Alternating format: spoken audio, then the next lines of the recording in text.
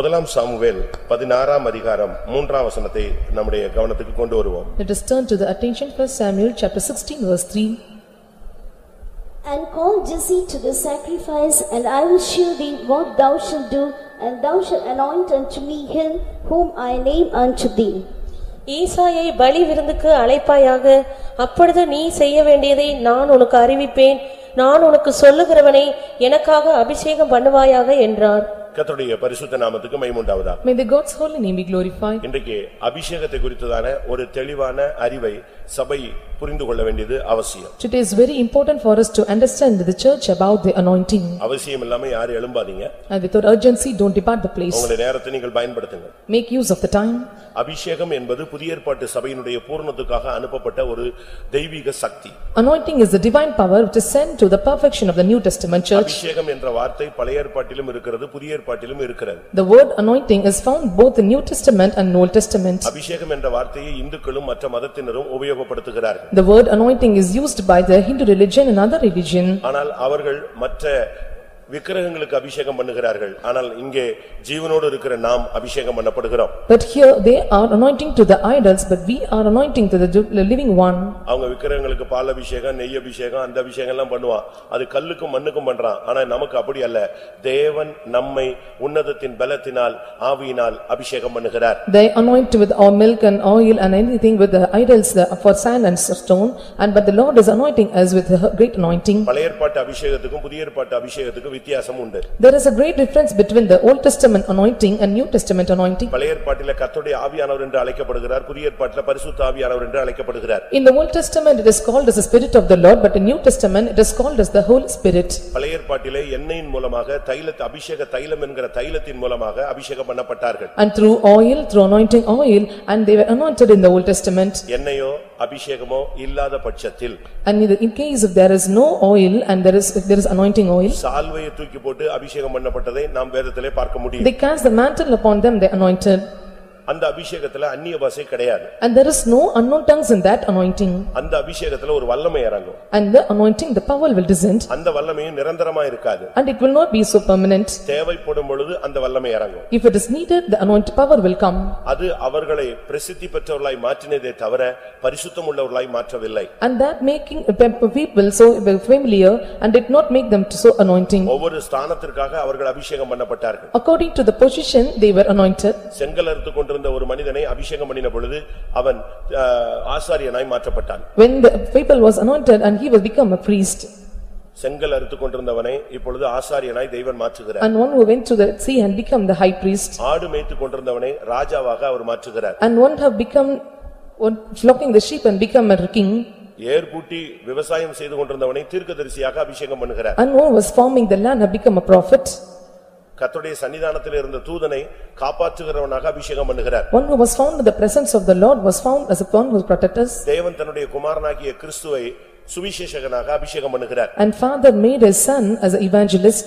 இப்படி ஒவ்வொரு ஸ்தானத்திற்கும் அபிஷேகம் அந்த நாட்களில் தேவைப்பட்டது In those days, the anointing was needed according to the position. அப்படினால் தீர்க்கதரிசிகள் எப்பொழுதும் ஒரு அபிஷேக தைலம் என்கிற ஒரு கொம்பை வைத்திருப்பார்கள் So the prophets will have the anointing oil as a horn. புதிய ஏற்பாட்டில் பழைய ஏற்பாட்டில் நாம் பார்க்கும் பொழுது ஆசாரியர்களுக்கு இல்லாவிட்டால் இப்படிப்பட்ட ஒரு ஊழியம் கொடுக்கப்பட்டிருந்தது In Old Testament, we can see such a ministry was given to the high priest. அபிஷேக தைலம் என்று ஒன்றை நீ நிரப்பி எடுத்து அஹ், ஆயத்தப்படுத்த வேண்டும் And you have to prepare an anointing oil. அதுக்கு இன்னென்ன பொருட்கள் சேர்க்கப்பட வேண்டும் And these are the things that be added. அவசியம் இல்லாமல் அதை செய்கிறவன் கொலை செய்யப்பட கடவன் And without any needer, if it is doing, he should become a murder. அது இன்னென்ன ரேஷியோல சேர்க்க வேண்டும் And according to a particular ratio, it should be joined. அது ஆசாரியன் எப்பொழுதும் வைத்திருப்பான் And priest have to keep this இல்லாவிட்டால் always. தேவனுடைய மனிதர்களுடைய கைகளிலே இருக்கும் And it should be found in the man of God. இங்கே நாம் பார்த்த பொழுது சாமுவேலுடைய கையில இந்த அபிஷேக தைலம் அந்த குப்பியில நிரப்பப்பட்டிருந்தது When we look here, we are able to see in Samuel's hand, anointing oil was found. வ- அடுத்து நாம் பார்க்கும் பொழுது எலிசாவின் கைய- கையிலே அந்த அபிஷேகம் இருந்தது That anointing was vested in the hands of Eliza. அவன் தன்னுடைய வேலைக்காரனை பார்த்து சொன்னான் தைல குப்பியை நிரப்பிக் கொண்டு போ என்று சொல்லுகிறான் And he asked the servant to fill the anointing oil in the vessel and go. அப்ப இவைகளிலிருந்து நாம் விளங்கிக் கொள்வது என்ன What do we understand from this? பழைய ஏற்பாட்டில் இந்த அபிஷேகம் இருந்தது The ano- in the Old Testament, the anointing was there, அவர்கள் வல்லமை உள்ளவர்களாய் மாறினார் had made them powerful. Samson மேல் இந்த வல்லமை இறங்கின பொழுது சிங்கத்தை கிழிப்பான் When the anointing rests upon Samson, he will tear up the lion. ஆனால் அவனுடைய தனிப்பட்ட வாழ்க்கையில ஜெயம் இல்லாதவன் But there is is no overcoming life in his individual life. அவனுக்கு இந்த அபிஷேகம் வரும்பொழுது ஒரு பராக்கிரமனாய் மாறுவான் மற்றபடி அவன் எங்கேயாவது போய் எவ வீட்லயாவது படுத்து விடுவான் When the anointing comes, he become a mighty person and he will lay on some other home. ஏன்? Why? பழைய ஏற்பாட்டில் ஏதாவது ஒன்றில் பூர்ணம் இருந்தால் போதும் In Old Testament, if there is one perfection, there is enough. ஆனால் புதிய ஏற்பாட்டில் அப்படி அல்ல But in New Testament, it is not like that. எல்லாவற்றிலும் ஒரு மனிதன் பூர்ணத்தை பெற்றுக்கொள்ள And வேண்டும் he have to receive perfection in every aspect. கர்த்தருடைய பரிசுத்த நாமத்துக்கு மைமுண்டாவதா May the God's holy name be நாம் glorified. வேதத்திலே பார்க்கும் பொழுது When we see in the scripture, வ- நாம் இ- சரியான மூன்று கட்ட அபிஷேகத்தை பெற்றுக்கொள்ள வேண்டும் we have to receive three kinds of anointing. இன்றைய மெசேஜ் மூன்று கட்ட அபிஷேகம் Today's message is a three, three aspects of anointing. இன்றைக்கு கர்த்தர் உங்களுக்கு தூது கொடுக்க விரும்புகிறார் அது மூன்று கட்ட அபிஷேகம் And the three status of anointing. நீங்க எல்லாம் அபிஷேகம் பெற்றவங்க தான் We are all anointed. புதிய ஏற்பாட்டில் நீங்க எல்லாருமே நீங்கள் அந்நிய பாஷை பேசுகிறீர்கள் In New Testament period, we all speak in unknown tongues. ஆனா இன்னைக்கு நான் இந்த பிரசங்கம் முடியறதுக்குள்ள Before the preaching gets over, இந்த எந்த அபிஷேகத்துல நீங்க இருக்கீங்கங்கறத நீங்க அனலைஸ் பண்ணணும் you have to analyze and which anointing you have. முதல் அபிஷேகமா First anointing, இரண்டாவது அபிஷேகமா a second anointing, மூணாவது அபிஷேகம் a third anointing. இதுல எந்த அபிஷேகத்துல இருக்கீங்கங்கறத நீங்களே கண்டுபிடிக்கலாம் அந்த வசனங்களை கேட்கும்போதே உங்களுக்கு புரிஞ்சுக்கும் நம்ம எந்த இடத்துல உட்கார்ந்திருக்கிறோம் கண்டுபிடிச்சிருவீங்க When you hear the word of God, you are able to identify in which status you are found. அதை நான் இன்னைக்கு உங்களுக்கு முன்பாக வைக்க ஒரு ஆவியிலே ஏவப்படுகிறேன் I am urged in spirit to present before you. நீங்கள் வேதத்திலே பார்க்கும் பொழுது When we see in the scripture, அஹ், சவுலை குறித்து நீங்கள் படித்தால் when we read about Saul, Saul ஒரு விசை ஒரு கட்ட அபிஷேகத்தை மட்டும்தான் பெற்றார் and Saul received only one kind of anointing. சாலமோனை நீங்கள் படித்து பார்த்தால் When we look into Solomon, அவன் இரண்டாம் கட்ட அபிஷேகத்துக்கு வந்தான் மூன்றாம் கட்ட அபிஷேகத்துக்கு வரவே இல்லை he came to the second state of anointing and did not come to the third state. ஆனால் தாவீதின் வாழ்க்கையை பார்த்தால் When we look into the life of David, அவன் மூன்றாம் கட்ட அபிஷேகத்துக்கு வந்து ஜெயித்தான் he reached to the third state of anointing and overcome. அவனுக்கு நிலையான வீடு கட்டப்பட்டது And the state of a house was built upon அவனுக்கு அந்த him, தேசம் வாக்குத்தத்தம் பண்ணப்பட்டது and the land was promised for him, ஆ, அவனுக்கு நிலையான சுதந்திரம் கிடைத்தது and there was a proper inheritance found to him, நேர்த்தியான இடத்துல அவனுக்கு ஒரு பங்கு கிடைத்தது and he received the pro- pro- pro- proper praise in him. இன்னைக்கு நம்முடைய சப்ஜெக்ட் தாவீதினுடைய மூன்று கட்ட அபிஷேகம் And today's our subject is the three status of anointing of David. பழைய ஏற்பாடு எல்லாமே புதிய ஏற்பாட்டினுடைய திஷ்டாந்தங்கள் And the third Old Testament anointing and three uh, uh, New Testament examples. ஆ, அதை நாம் சரியான விதத்துல விளங்கிக் கொள்ள வேண்டும் We have to identify in a proper way. ஆ, இங்கே தாவீதினுடைய அபிஷேகத்தை தான் நாம் இப்பொழுது படித்தோம் We have meditated read about this uh, Da- uh, anointing of David. தாவீதின் அபிஷேகத்துக்கும் சவுலுடைய அபிஷேகத்துக்கும் ரொம்ப டிஃபரெண்ட் இருக்கு There is a vast difference between the anointing of David and anointing of Saul. நீங்க வேணா அதை படிச்சு பாருங்க When we read this, ஒன்னு Samuel பதினாறு மூன்றுல நாம் இப்ப- இப்பொழுது படித்த போது and we read in First Samuel chapter sixteen verse three, நான் உனக்கு சொல்லுகிறவனை எனக்காக அபிஷேகம் பண்ணு and you have to anoint them that I tell you. இது தாவீதினுடைய அபிஷேகம் கர்த்தருக்காக அபிஷேகம் பண்ணப்பட்டவன் And this was the anointing of David who was anointed for God. ஆனால் ஒன்னு சாமுவேல் பத்தாம் அதிகாரம் முதலாம் வசனத்தை பார்க்கும் பொழுது But when we look into First Samuel chapter ten verse one, அங்கே சவுலினுடைய அபிஷேகம் சொல்லப்பட்டிருக்கிறது and here it is mentioned about the anointing of Saul. அது என்ன அபிஷேகம் What was that? தலைவனாக அபிஷேகம் And he was anointed as a captain. அது ஜனத்தின் தலைவனான அபிஷேகம் தாவீதினுடைய அபிஷேகம் தேவனுக்குன்று வாழமுடியான அபிஷேகம் And anointing of the Saul is the anointing as a captain for the people, but the anointing of David is live for God. நீ எதற்காக அபிஷேகம் பண்ணப்பட்டாய் For what you are anointed, அதுதான் இன்னைக்கு முக்கியமானது and that is very important today. ஒன்னு Samuel ஒன்பது பதினாறை பார்க்கும் பொழுது When we look into first Samuel, chapter nine, verse sixteen, அங்கே கர்த்தர் சாமுவேலத்திலே முதல் நாளே சொல்லிவிட்டார் and the first day the Lord mentioned him, இஸ்ரவேலின் அதிபதியாக அவனை அபிஷேகம் பண்ணு and you anoint him as a captain over my people of Israel. அப்ப அபிஷேகத்தினுடைய நோக்கத்தை நீங்கள் புரிந்து கொள்ளுங்க And we must identify the purpose of the anointing. சவுலின் அபிஷேகம் ஆளுகை செய்கிற அபிஷேகம் தாவீதின் அபிஷேகம் கர்த்தருக்காக வாழக்கூடிய அபிஷேகம் Anointing of Saul is to rule over the people, but anointing of David is live for God. ஒரு போஸ்டிங்காக அவனுக்கு அபிஷேகம் கிடைத்தது The anointing was received to Saul for posting, ஆனால் அதையும் கூட அவனால் காப்பாற்ற முடியவில்லை but he could not able to preserve it.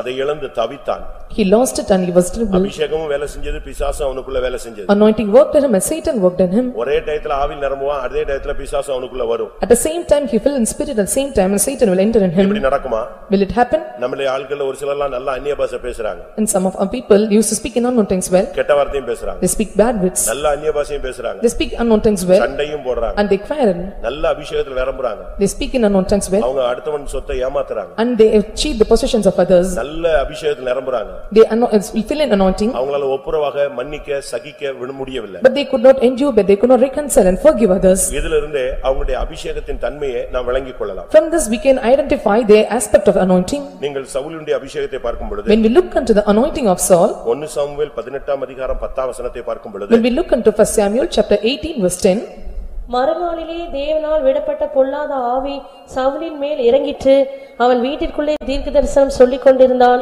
நீங்க இந்த வசனத்துல ரெண்டு பாட்டை நீங்க பார்க்கலாம் We can see two parts in this verse. ஒன்று தேவனால் விடப்பட்ட பொல்லாத ஆவி சவுலின் மேல் இறங்கிற்று One is the evil spirit from God came upon Saul. அதே சேம் டைம் இன்னொரு ஆவி வேலை செய்து தீர்க்க தரிசனம் சொல்லிக் கொண்டிருந்தார் At the same time, he prophesied.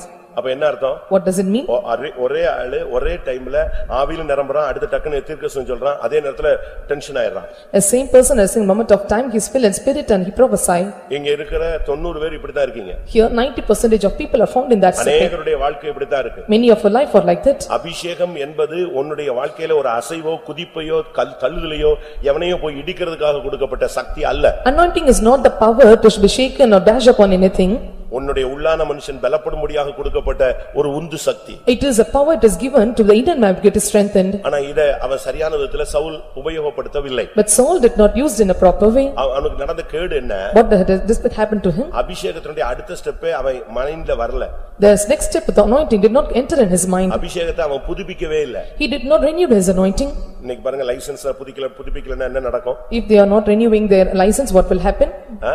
இல்லாவிட்டா உங்களுடைய அஹ், விசாவை புதுப்பிக்கலன்னா என்ன நடக்கும் If you do not uh, renew your visa, what will happen? உங்களுடைய பாஸ்போர்ட்டை புதுப்பிக்கலன்னா என்ன நடக்கும்னா உங்களுக்கு தெரியும் And you know, if you are not renewing your passport, what will happen? அதுபோல அபிஷேகத்திலையும் ஒரு புதிதாக்குதல் இருந்துகிட்டே இருக்கு Likewise, there is a renewal anointing. அதனாலதான் தாவீது சொல்லுகிறான் என்னை நீ புது எண்ணெயினால் அபிஷேகம் பண்ணுகிறேன் So David say, anoint my, with the new oil. அப்படிதான் அவன் வார்த்தையை சொல்லுகிறான் That's what he used the word. தீத்து மூன்று ஐந்துல பார்க்கும் பொழுது When we look unto Titus chapter three verse பரிசுத்த five, ஆவியின் பரிசுத்த ஆவியின் புதிதாக்குதலினால் நம்மை ரட்சித்தார் the Lord saved us by the renewing of spirit. அப்ப ஒவ்வொரு நாளும் பரிசுத்த ஆவியில ஒரு புது அனாயிண்டிங் இருக்கு Every day there is a new anointing in Holy Spirit. நம்ம கிருபையை பத்தி படிக்கிறோம் We read, study about அந்த grace கிருபை கூட புதிய கிருபை இருக்கிற and there is a new grace. நம்ம ஆளுங்கெல்லாம் பாதி பேர் என்னைக்கோ வாங்கின ஒரு கிருபையை வச்சுட்டு சுத்திக்கிட்டே இருக்கான் And some are wandering with the old grace that are received expiry டேட்டை தாண்டி போயிடுச்சுங்க and they have crossed the expiry date. அப்படிதானே அந்த பழைய கிருபையை வச்சுக்கிட்டு பாட்டு பாடுறது கை தட்டுறது அல்லேலியா போடுறது அப்படியே ஓடுறது With the old grace that they receive, they sing and song and they shout hallelujah. எந்த ஒரு காரியமும் எக்ஸ்பைரி ஆகும் பொழுது அது கொஞ்ச நாள் கழிச்சு அது எதா மாறும் விஷமா மாறும் When a particular things got expiry and it become a poison later. அதுபோல அபிஷேகம் கூட நீ சரியா யூஸ் பண்ணலன்னா அது உனக்கே கேடா மாறும் If you do not use the anointing properly, it become a treachery for you. நீங்க பைபிள் நீங்க படிச்சு பாத்தீங்கன்னா When you look into the Bible அபிஷேகம் பெற்ற ஒரு வருஷத்துல சவுல் அந்த அபிஷேகத்தை இழந்தார் and with an anointing he received in one year, he lost the anointing which he received. அதுக்கு பிறகு முப்பத்தி ஒன்பது வருஷம் அவன் ராஜாவா இருந்தான் And thereafter, then after thirty-nine years, he was a king thirty nine years அவன் ராஜாவா இருந்தாலும் அபிஷேகம் இல்லாத ஒரு ராஜா and he was the king without anointing for thirty-nine years. அது அவன் லைஃப்ல நீங்க பார்க்கலாம் We can see that in his life தாவீத நாய் போல விரட்டிக்கிட்டே இருப்பான் and he was chasing David like a dog சமயம் கிடைக்கும் போதெல்லாம் ஈட்டி எரிஞ்சுக்கிட்டே இருப்பான் and he will take the javelin and throw upon him யோனத்தான கெட்ட வார்த்தையில கிளி கிளின்னு கிழிச்சான் and he spoke in evil words with Jonathan.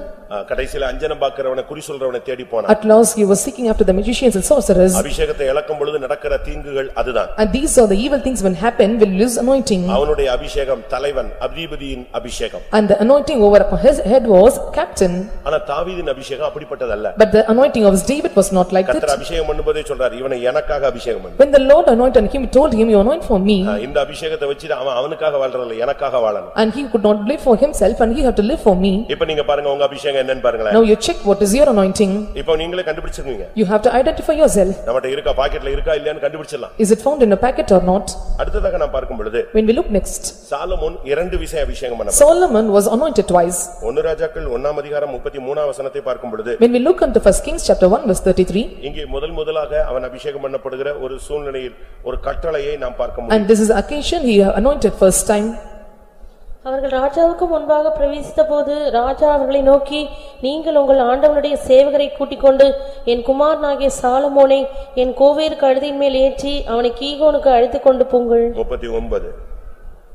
ஆசாரியனாகிய சாதோக்கு தைல கொம்பை கூடாரத்திலிருந்து எடுத்துக்கொண்டு போய் சாலமோனை அபிஷேகம் பண்ணினான் சாலமோனை அபிஷேகம் பண்ணினான் He anointed Solomon முதல்ல வச- வாசித்த வசனம் அவனை அபிஷேகம் பண்ண கூட்டிக் கொண்டு போங்கள் என்று சொல்லுகிற and the first thing is occasion they are asking to bring the Solomon to anoint. இரண்டாவது வசனம் சொல்லுகிறது அவனை அபிஷேகம் பண்ணினார்கள் And the second verse say that they anointed Solomon அந்த லைஃப் எப்படி இருந்துச்சு தெரியுமா and see how is the life. ஆ, அவன் பலி செலுத்தினா கத்தர் பேசுவார் And when he offered sacrifice, the Lord will speak to him. அவன் ஒரு நாள் பலி செலுத்திட்டு அங்கேயே படுத்துக்கிட்டான் He offered a sacrifice and slept there. அவன் அரண்மனையில இருந்து கிபியோன்ல போய் பலி செலுத்துறான் And he went, came from a palace to, went to Gi- Gihon raw- to. இப்ப ராஜாவா மாறியாச்சு Now he became a king. ஆனாலும் அபிஷேக் அந்த இடத்துல பலி செலுத்திட்டு கர்த்தருடைய வீட்டிலேயே கிடக்குறான் Now he offered a sacrifice and stayed in the house of God. அபிஷேகம் நிரம்பின வாழ்க்கை உன் வீட்டுக்கு உனக்கு போக ஆசை வராது கர்த்தருடைய வீட்டுல இருக்கணும்னு ஆசை வரும் When you fill in the anointing that you receive and he will never allow you to go to your home, it will make you to stay in the house of God. ஆகாமிய ஆகாமிய கூடாரங்களில் தங்குவதை பார்க்கிலும் உம்முடைய ஆலயத்தில் பிரகாரத்தில் தங்கும் ஒரு நாளே சிறந்தது And it was better than a day to stay in the house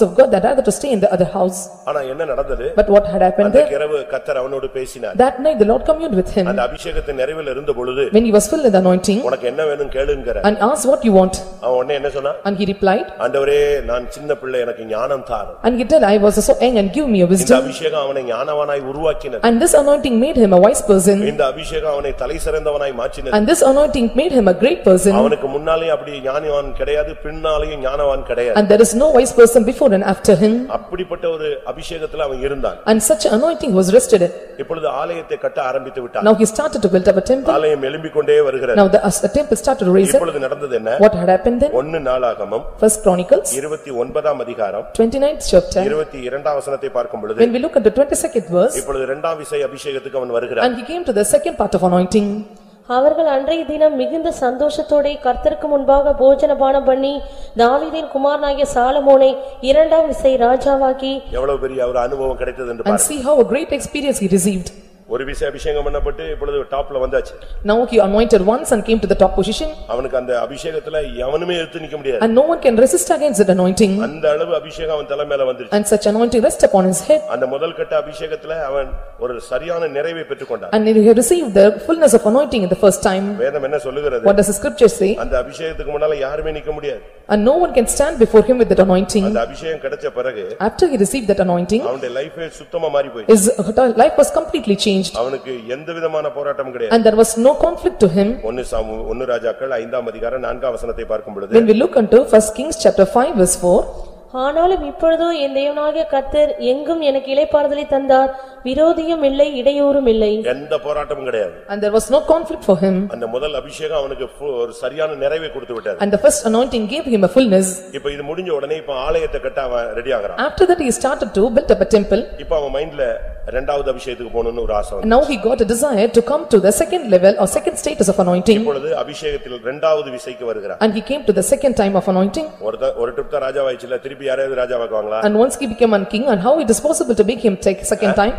எலெக்ஷன்ல ஜெயிச்சா அடுத்த பிரதம மந்திரியா வரலாம் When he became, a- win an election, they can become, தானே ராஜாவா இருக்கிறான் already he was a king. திரும்பவும் அவன ரெண்டாம் விசை ராஜாவாக்கு Again, they become a king second time. இது அபிஷேகத்துடைய second portion And this is the second part or portion of the anointing. ஒரு சில பிள்ளைங்க எல்லாம் சண்டே ஸ்கூல் படிக்கும்போது அபிஷேகம் பண்றாங்க Some of our children, they receive anointing during Sunday school. அதை வச்சு அவங்க வாழ்க்கையில மாற்றம் இல்ல ஓரளவு விசுவாசியா இருக்குங்க And there is no change in their life when they become an ordinary believer. நன்மை எது தீமை எது என்பதெல்லாம் தெரிஞ்சு வாழ்க்கையில போராட்டங்களை சந்திக்கும் பொழுது இந்த அபிஷேகத்தை யூஸ் பண்ணணும் அதான் ரெண்டாவது அபிஷேகம் To discern the good or bad or evil and go, when you go to the second part of their life and they must need of this anointing. ஆ, அபிஷேகத்தை நல்லா யூஸ் பண்ணணும் They have to make use of the anointing properly. அபிஷேகத்தை நம்ம சரியா use பண்ணலன்னா waste If we are not using properly, it is waste. கர்த்தருடைய பரிசுத்த நாமத்துக்கு மைமுண்டாவதா May God's holy name be glorified. நான் தான் அன்னைக்கு சொன்னேன் I told you already. நம்முடைய சண்டே ஸ்கூல் பிள்ளைகளை நீங்க சரியா வைக்கலன்னா அவன பிசாசு எங்கேயாவது தள்ளி கொண்டு போய் சேர்த்துருவான் If you do not grow up your children, Sunday school children properly, the Satan may cast them somewhere. அபிஷேகத்துல அவனை அடுத்த ஸ்டெப் கொண்டு போகணும் And you have to take them to the next step of the anointing. Sunday school படிச்சா மட்டும் போதாது It is not enough that you have learned Sunday school. Centre போய் செட்டா மட்டும் It போதாது is not enough they uh, get a center prize. அது தேவை It is needed.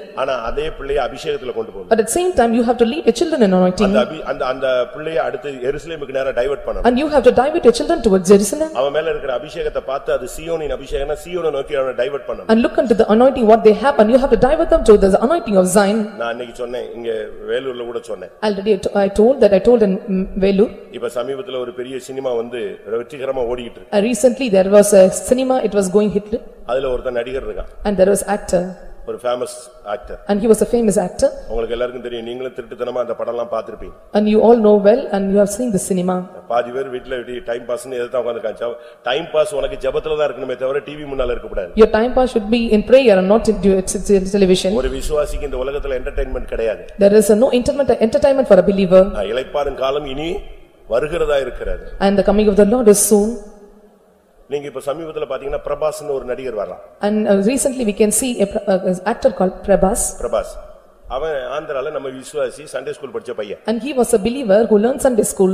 ஒரு டைம் வரைக்கும் அவன் சண்டே ஸ்கூல் படிச்சா நம்ம ஊழியக்காரருடைய சொந்தக்கார பையன் And to a particular period, he learned Sunday school and he was relative to a servant of God. அவனுக்கு அந்த அபிஷேகம் இருந்துச்சான்னு தெரியல I do not know whether he had that anointing. But அவன் அடுத்த ஸ்டெப் தெய்வீகத்துல வரல And he did not come to the next step of divinity. அவனை lead பண்ணல He was not leader in that யார் way. லீட் பண்ணிட்டா இப்போ Who led him?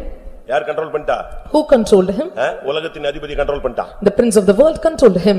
அவன் தூக்கி கொண்டு போய் எங்க விட்டுட்டான் இந்தியால செகண்ட்ல கொண்டு போய் விட்டுட்டான் And he made him to the top, posi- second top position of India. நீங்க யோசிச்சு பாருங்க You think and see, நம்முடைய வாழ்க்கை எப்படி இருக்கு what, how is our life? உங்களுடைய லைஃப் நீங்க சரியா அபிஷேகத்துல மெயின்டைன் பண்ணலன்னா பிசாசு ஒண்ணு எங்கேயா கொண்டு போய் பாதாளத்துல தூக்கி போட்டு If போயிடுவான் you maintain not your life in a proper way, and like Satan may pass you in a bottomless pit. இதை உணர்ந்ததான சாலமோன் இரண்டாவது அபிஷேகத்துக்கு வர்றான் And he who examined Solomon came to the second position of the anointing, அவன் கேட்டிருக்கான் and he asked, பார்த்திருக்கான் and he have seen, அவங்க அப்பாவுக்கு கிடைச்ச அபிஷேகத்தெல்லாம் அவன் பாத்துக்கிட்டே and வந்தான் he had seen the anointing which the father received. அவருக்கு ஃபர்ஸ்ட் கிடைச்சது And the first time he இரண்டாவது received, கிடைச்சது second time he received, மூணாவது கிடைச்சது he received third time, our ஜெயிச்சிட்டாரு and he conquered, எவ்வளவு போராட்டம் வந்தாலும் வின் பண்ணிட்டாரு and he overcome many kinds of conflict and அதனால overcame. இவன் மைண்ட்ல அடுத்த அபிஷேகத்துக்கு வர்றான் So he came to the second step of anointing. ஆனா ரெண்டாவது அபிஷேகத்துக்கு வந்த பிறகு அவன் லைஃப மெயின்டைன் பண்ணல After he came to the second step, the anointing, he could not maintain his life. கத்தர் உனக்கு பணத்தை கொடுப்பாரு The God will give you money, ஆ, உனக்கு வசதி கொடுப்பாரு he will give you wealth. நீ அதை சரியா யூஸ் பண்ணலன்னா உன்னை விட்டு போயிடும் If you do not pro- use it properly, it will depart from you. உனக்கு கொடுப்பாரு He will, he will receive, நீ சபையை தாங்குவன்னு கொடுப்பாரு and he will give you that you will நீ sustain in the உண்மையா church. உண்மையா இருப்பா என்று கொடுப்பாரு Counting you that you will be faithful, he will give our you. கொடுக்கறதுக்கு ரெடியா இருக்கிற He is ready to give you. ஆனா நீ அதை எப்படி யூஸ் பண்றங்கிறது உன்னுடைய choice And it is your choice how you make use of it. ஆனா நடந்த கேடு என்ன But what is the treachery happened to ah, him? ரெண்டாவது அபிஷேகம் கிடைச்ச பிறகு After he received the second anointing, அவன் அதை மெயின்டைன் பண்ணல he could not maintain. அவன் மைண்ட் முழுசும் பெண்கள் பக்கம் போயிடுச்சு His mind is full of, to to turn towards women. அது அவனுடைய வீழ்ச்சிக்கு காரணமாக And this became the reason for the falling. சபைக்குள்ள வந்துட்ட பிறகு After coming to the church, ஆண் என்றும் இல்லை பெண் என்றும் இல்லைன்னு சொல்லிட்டு மாம்சீகமா நடக்கிறதுக்கு இந்த வசனத்தை யூஸ் பண்ணக்கூடாது and you should not use the words during the carnal by saying there is no difference between man and woman. எல்லாத்துக்கும் ஒரு லிமிட் இருக்கு There is a limit for everything. அந்த லிமிட்லயே தான் நீங்க போகணும் And you have to maintain in that limit. அவசியம் இல்லாம வீடுகளுக்கு போக கூடாது And without any need, you should not go to the house. அவசியம் இல்லாமல் வீடு சந்திப்புகளுக்கு நீங்கள் செல்லக்கூடாது And without any need, you should not go for the visiting of சும்மா house. இங்க வந்தேன் பேசினேன் காப்பி குடிச்சேன் சோறு சாப்பிட்டேன் அப்படின்னு போக கூடாது அப்படி ஏதாவது தவறான பாதைகளை நீங்கள் வைத்திருந்தால் நீங்கள் துண்டிக்கணும் இல்லாவிட்டா அபிஷேகத்தினுடைய அடுத்த ஸ்டெப்புக்கு நீ வர மாட்டாய் If you have any wrong thoughts, you have to disconnect it and you cannot come to the second part of the anointing. ஒன்னு நாம் ச- ராஜாக்கள்ல நம்ம படிக்கும்போது When we look unto kings, சாலமோனுடைய வாழ்க்கையில நடந்த தீங்கு அதுதான் and what the evil happened in the life of Solomon was that, எப்படி இரண்டாம் விசை கத்தர் அவனை ராஜாவாக மாத்தினாரோ அதே போல இரண்டாம் விசை அவனை எச்சரித்தார் and how he anointed second time, the same way the Lord warned him second time, மகனே நீ போறது தவறு son, the path you traverse is wrong, மகளே நீ போறது தவறு the path you traverse is wrong, உனக்கு ஒரு சொப்பனம் கிடைக்கும் and there will be ஒரு dream for you, தரிசனம் கிடைக்கும். there will be vision for you, உன்னை விட பெரியவங்க உனக்கு ஆலோசனை சொல்லுவாங்க and greater about you will counsel you, தீர்க்க தரிசனம் வரும் there will be prophecy, பிரசங்கம் சாட்ட மாதிரி வரும் and there will be message like a whip, ஊழியக்காரங்க உன்னை கண்டிப்பாங்க and the servant of God will co- அதை நீ control you. கரெக்ட் பண்ணல நீ இரண்டாவது கட்டத்துல இருந்து மூணாவது கட்டத்துக்கு போக முடியாது If you do not right yourself and you cannot cross the second step. ஒன்னு ராஜாக்கள் பதினோராம் அதிகாரம் ஒன்பதாம் வசனத்தை பார்க்கும் பொழுது When we look unto first Kings chapter nine verse eleven, ரெண்டு விசை ராஜாவாக மாற்றப்பட்டபடினால் இரண்டு விசை அவனை எச்சரிக்கிறார் and he became twi- twice he was anointed, twice he was warned. ஆகையால் இஸ்ரவேலி தேவனாகிய கர்த்தர் சாலமோனுக்கு இரண்டு விசை தரிசனமாகி அந்நிய தேவர்களை பின்பற்ற வேண்டாம் என்று கட்டளையிட்டிருந்தும் அவன் கர்த்தரை விட்டு தன் இருதயத்தை திருப்பி பாத்தீங்களா? ரெண்டு விசை அபிஷேகம் பண்ணப்பட்டதுனால அவனுக்கு வார்னிங் எத்தனை டைம் கொடுக்கறாரு? How many times he was anointed, he was given warning for how many times? சரியில்லை. You, the path you traverse is wrong, அபிஷேகம் பண்ணப்பட்டவன். And you are the anointed, உன்னுடைய செயல்கள் இந்த ஐக்கியம் ஒத்து வராது. And there is no actions that he was contrary to. சொல்லுகிறார் எல்லாவற்றையும் அனுபவிக்க எனக்கு அதிகாரம் உண்டு. And Paul say, I have a link to uh, accept everything, ஆனா நான் ஊழியம் செய்கிற இந்த ஊழியத்துக்கு அது தகுதியாயிர but it is not uh, worthy for the ministry which I do. உலகத்தை நம்ம எப்படி அனுபவிக்கலாம் ஆனா இந்த மார்க்கத்துக்கு அது உதவாது And we can experience this world in any way, but this to- way it is not con- re- reason it.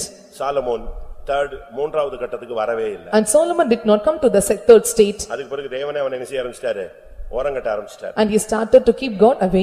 கர்த்தருடைய பரிசுத்த நாமத்துக்கு மைமுண்டாவதா May the God's holy name be glorified. இன்றைக்கு நம்முடைய மெசேஜ் தாவீதும் மூன்று கட்ட அபிஷேகம் Today's message is David and three status of anointing. கர்த்தருடைய பரிசுத்த நாமத்துக்கு May மைமுண்டாவதா the God's holy name be glorified. இங்கே நாம் பார்க்கும் பொழுது When we come see here, ஒன்னு சாமுவேல் பதினாறு மூன்றிலே ஆவியானவர் சொல்லுகிறார் நீ தைல குப்பியை எடுத்துக்கொண்டு போய் அஹ், ஈசாயின் குமாரனை ஒருவனை எனக்காக அபிஷேகம் பண்ணு in first Samuel chapter sixteen verse three, the God said of him, "You take the oil of oil and anoint the Jesse the son of him. இந்த அபிஷேகம் இப்பொழுது பன்னிரெண்டாம் வசனத்துல அவன் மேல் இறங்குகிறது Now this anointing is resting upon him in twelfth verse. அது பன்னிரெண்டாம் வசனத்துல கத்தர் சொல்றார் இவன் தான் இவன் மேல அபிஷேகம் பண்ணுங்கிற And he was the one who anoint him. பதிமூன்றாம் வசனத்துல தைல கொம்பை எடுத்து அவன் சகோதரர் நடுவில் அவன் அபிஷேகம் பண்ணப்பட்டான் And they took the horn of oil and anointed in midst of his brethren. அது வரைக்கும் ஒரு சாதாரண மனுஷன் Until now he was a ordinary person ஆடு மாடு மேய்ச்சி ஆடு பேச்சு கொண்டிருந்தான் and he was the one flocking the sheep. ஆனா இன்னைக்கு நடந்தது என்ன But what had happened then? அவனுக்கு ஒரு அபிஷேகம் கிடைத்தது And he received anointing அவனுடைய வாழ்வு இப்பொழுது டான்ல வருகிறது and his uh, life come to the turning point. அது வரைக்கும் ஏதோ சுரமண்டலத்துல கொஞ்ச நேரம் வாசிச்சிட்டு இருப்பான் Until now he used to have a harp ஆடு மேய்ச்சிட்டு இருப்பான் and he used to flock the sheep. இதுதான் அவனுக்கு தெரிஞ்ச ஊழியம் And this was a ministry that is known to him. ஆ, ஆனா இன்னைக்கு நடந்தது என்ன And what happened then? இன்னைக்கு திடீர்னு அவனை வீட தேடி வந்து அவனை கூப்பிட்டு சாமுவேல் அவனை கர்த்தருக்காய் அபிஷேகம் பண்ணினான் They suddenly they sought after him to the home and they anointed for him for God. கர்த்தருடைய பரிசுத்த நாமத்துக்கு May மைமுண்டாம் the God's holy name be glorified. நான் இப்போ முதல் கட்ட அபிஷேகத்தினுடைய செயல்பாடுகளை உங்களுக்கு சொல்ல விரும்புகிறேன் Now I want to tell the actions of the first status of anointing நீங்க எல்லாருமே இப்ப அபிஷேகம் பண்ணப்பட்டவங்களா இருக்கலாம் and they all may be anointed one. உங்க லைஃப்ல நீங்க அந்த அபிஷேகத்துக்கு பிறகு உங்க லைஃபை எப்படி நீங்க கொண்டு போனீங்க தெய்வம் எப்படி உங்களை கொண்டு போனாரு பிசாசு உங்களுடைய வாழ்க்கையில எப்படி குறுக்க வந்தான் உலகம் எப்படி வந்துச்சு அப்படின்னு உங்களுக்கு தெரியும் After you receive the anointing, you know how with what pa- path you traverse and what the Lord is leading you and how Satan crossed your way. முதல் அபிஷேகம் சகோதரர் நடுவில் அவனுக்கு கிடைத்தது The first anointing he received among the brethren வீட்டுல கிடைச்சது and he received in the house. அவன் இருந்த வீட்டிலேயே அவனுக்கு அபிஷேகம் தேடி வந்து கிடைச்சது In the house he reside, the anointing came and sought of him. உங்களுக்கு அபிஷேகம் கிடைச்ச இடம் ஞாபகம் இருக்கா Can you identify the place where you received anointing? அபிஷேகம் கிடைச்ச டேட் ஞாபகம் இருக்கா Do you remember the day that you received anointing? ஒரு நாள் ஒரு வீட்ல என்னைய கூப்பிட்டாங்க One person they called him at எங்க home வீட்ல விருந்து வச்சிருக்கோம் and we had a feast at home. சாப்பிட வாங்க You come and have feast. நான் சொன்னேன் என்னதுக்குன்னு I asked for what reason என் பையன் அபிஷேகம் பெற்ற நாள் and this is the date where my son had got anointing. இப்படியும் இப்படியும் பெண்டிகாஸ்ல ஒரு டீம் இருக்கானுங்க And there is a team in Pentecost like this நாங்க பிறந்த நாள் கொண்டாடுறது இல்ல and we will not celebrate birthday என் பையனை நேசித்து கத்தர் அபிஷேகம் பண்ணனாலதான் நாங்க என்ன செய்றோம் ஃபீஸ்ட் வைக்கிறோம் and we will conduct feast loving our son and the prayer do- day we had anointed. உங்களுக்கு எங்க வச்சு அபிஷேகம் கிடைச்சது ஞாபகம் இருக்கா Do you remember the place where you got anointing? எந்த மரத்தடியில எந்த சர்ச்சில எந்த ஹால்ல எத்தனை மணிக்கு எந்த இடத்துல எந்த சூழ்நிலையில கத்தர் உங்களுக்கு அபிஷேகம் கொடுத்தாரு ஞாபகம் இருக்கா Do you remember what occasion and under which tree and what time, what day you have received the anointing? வீட்டுல சகோதரர் நடுவில அவனுக்கு அபிஷேகம் கிடைச்சது And he received the anointing in midst of the brethren in the house. அவங்க அப்பா அப்படியே பாத்துக்கிட்டே இருந்தாரு And father looked at him அவங்க அண்ணன் எல்லாம் பாத்துக்கிட்டே இருந்தாங்க and brothers looked at him. எல்லாரும் கண்கூட பார்க்கும் பொழுது அபிஷேகத்தை எல்லாம் When they all looked at him, the horn of honor oil was given upon him. கத்தர் இவனை தனக்கென்று அபிஷேகம் பண்ணுகிறார் The Lord anointed him for himself அப்படி ஒரு அபிஷேகம் அவனுக்கு கிடைச்சது and such anointing he received. அது வரைக்கும் சாதாரணமா இருந்த ஒரு ஆளு Until then he was an ordinary one. அபிஷேகம் வந்த உடனே life And when he got this anointing, and when he got this anointing, his life was changed. ஒன்னு சாமுவேல் பதினாறு பதினெட்டை பார்க்கும் பொழுது When we look into first Samuel, chapter sixteen, verse eighteen, ஒரே அந்த அபிஷேகத்துல டக்குன்னு ஒரு change and there was a great change in the anointing. அப்பொழுது அந்த வேலைக்காரரில் ஒருவன் பிரதித்திரமாக இதோ பெத்லகேமியனாகிய ஈசாயின் குமாரன் ஒருவனை கண்டிருக்கிறேன். அவன் வாசிப்பதில் தேறினவன் அவன் பராக்கிரமசாலி யுத்த வீரன் காரிய சமர்த்தன் சௌந்தரியமுள்ளவன் கர்த்தர் அவனோடு கூட இருக்கிறார் என்றான். அபிஷேகம் எப்படி மாத்திருச்சு அவனை பாத்தீங்களா? And see how the anointing changed him, அவன் காரிய சமர்த்தன் and he was a cunning in playing, அவன் வாசிப்பதில் தேறினவன். He was cunning in playing, அவன் பராக்கிரமசாலி. And he is a mighty man of அவன் valor, யுத்த வீரன் and he is a man of war, அவன் சௌந்தரியம் உள்ளவன் and he is a comely person, அவனோடு இருக்கிறார் and the Lord was with him. அபிஷேகம் ஒருவனுக்குள்ள வரும் பொழுது உன் லைஃப்ல ஒரு டிரான்ஸ்பிகரேஷன் வரணும் When anointing come upon you, there should be transfiguration in your life, ஒரு மறு ரூபம் வரணும் there should be transformation in your life, இது சவுலுக்குள்ள ஆரம்பத்துல நடந்தது and this happened in the life of Saul in the beginning. ஒன்னு Samuel பத்தாம் அதிகாரத்தை நீங்க பார்க்கும் When பொழுது we look into first Samuel, chapter ten, இந்த அபிஷேகம் கிடைத்த பொழுது when he received this anointing, ஒன்னு சாமுவேல் பத்து ஆறுல பார்க்கும் பொழுது when we look into first Samuel, chapter ten, verse six, அப்பொழுது கர்த்தருடைய ஆவி உன்மேல் இறங்குவார் நீ அவர்களோட கூட தீர்க்க தரிசனம் சொல்லி வேறு மனுஷனாவாய் முதல் அபிஷேகம் சவுலை வேறு மனுஷனாய் மாற்றிட்டு the first person, the anointing of the Saul made him a different or a different person. ஒன்னு சாமுவேல் பத்தாம் அதிகாரம் ஒன்பதாம் வசனம் First Samuel, chapter ten, verse nine, அவன் சாமுவேலை விட்டு போகும்படி திரும்பின போது தேவன் அவனுக்கு வேறே இருதயத்தை கொடுத்தார் முதல் அபிஷேகத்துல சவுலுக்கு வேற இருதயம் கிடைத்தது வேற மனுஷனாய் அவன் மாறினான் in the first anointing which Saul received, he became another person and another heart was given to him. ஆனா என்ன அவனுக்கு புரியலையோ இல்ல தெரியலையோ அஹ், அவனுக்கு பாடம் தெரியாதனால செகண்டுக்கே போகாம விட்டுட்டான் But he could not ident- identify, could not understand, so he could not enter to the second step. நம்ம சில நம்ம பிள்ளைகளை பாத்தீங்கன்னா ஒரு சிலர் எல்லாம் பிரைமரி ஸ்கூல்லயே நிப்பாட்டிடுறாங்க Uh, When we see some of the uh, children, they were stopped or seized in a primary school. அப்படின்னா எவ்வளவு? அப்படின்னா எத்தனை? பிரைமரி ஸ்கூல்னா எத்தனை அது அஞ்சு வரைக்கும். Till fifth standard, அடுத்து மிடில் then middle school, அது எட்டு. Till eighth standard, அப்படிதானே? அடுத்து? சொல்லுங்க.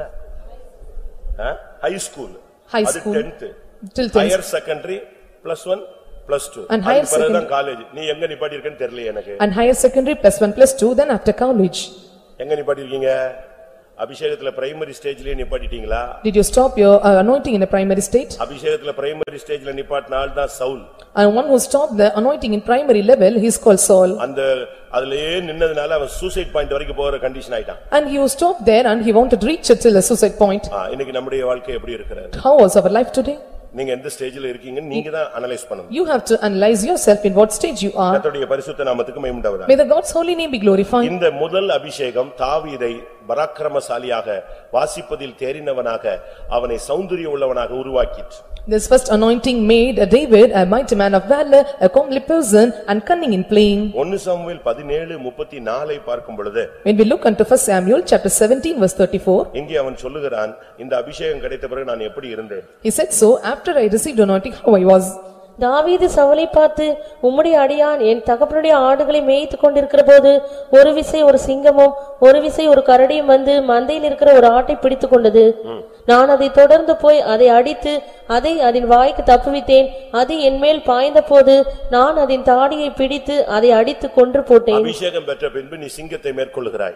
After you receive anointing, you overcome or prevail over the lion. கரடியை மேற்கொள்ளுகிறாய். And you overcome this uh, bear. இன்னைக்கு அபிஷேகம் வந்த பிறகுதான் உனக்கு பிசாசை எதிர்க்கக்கூடிய சக்தி கிடைக்குது. After you receive anointing, you have the power to resist against the devil. பொல்லாத வல்லமேல எதிர்த்து நில்லுங்கள். And you have to resist the evil powers. அபிஷேகத்தின் முதல் கட்டம் என்பது சாத்தானை எதிர்த்து நிற்பது. The first state of the anointing is resist against Satan. சிங்கத்தை கிழிப்பது You have to tear the line கரடியை கிழிப்பது and tear the bear ஆ, நீ க- தெய்வீகமாக மாறுவாய் and you will become a divine one. வாசிப்பதில் நீ தேறினவன் அப்படிங்கிறது என்ன What is the meaning cunning in playing?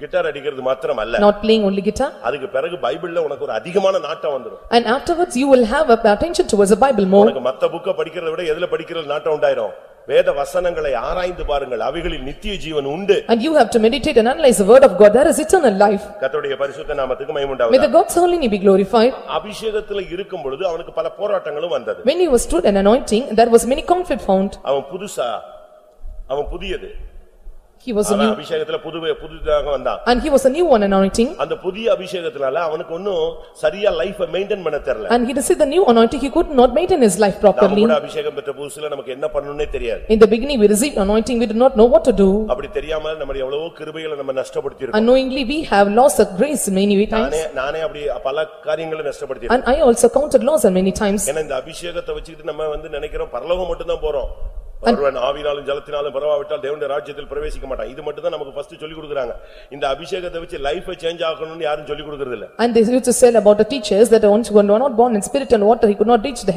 kingdom of heaven. And they do not tell about the anointing.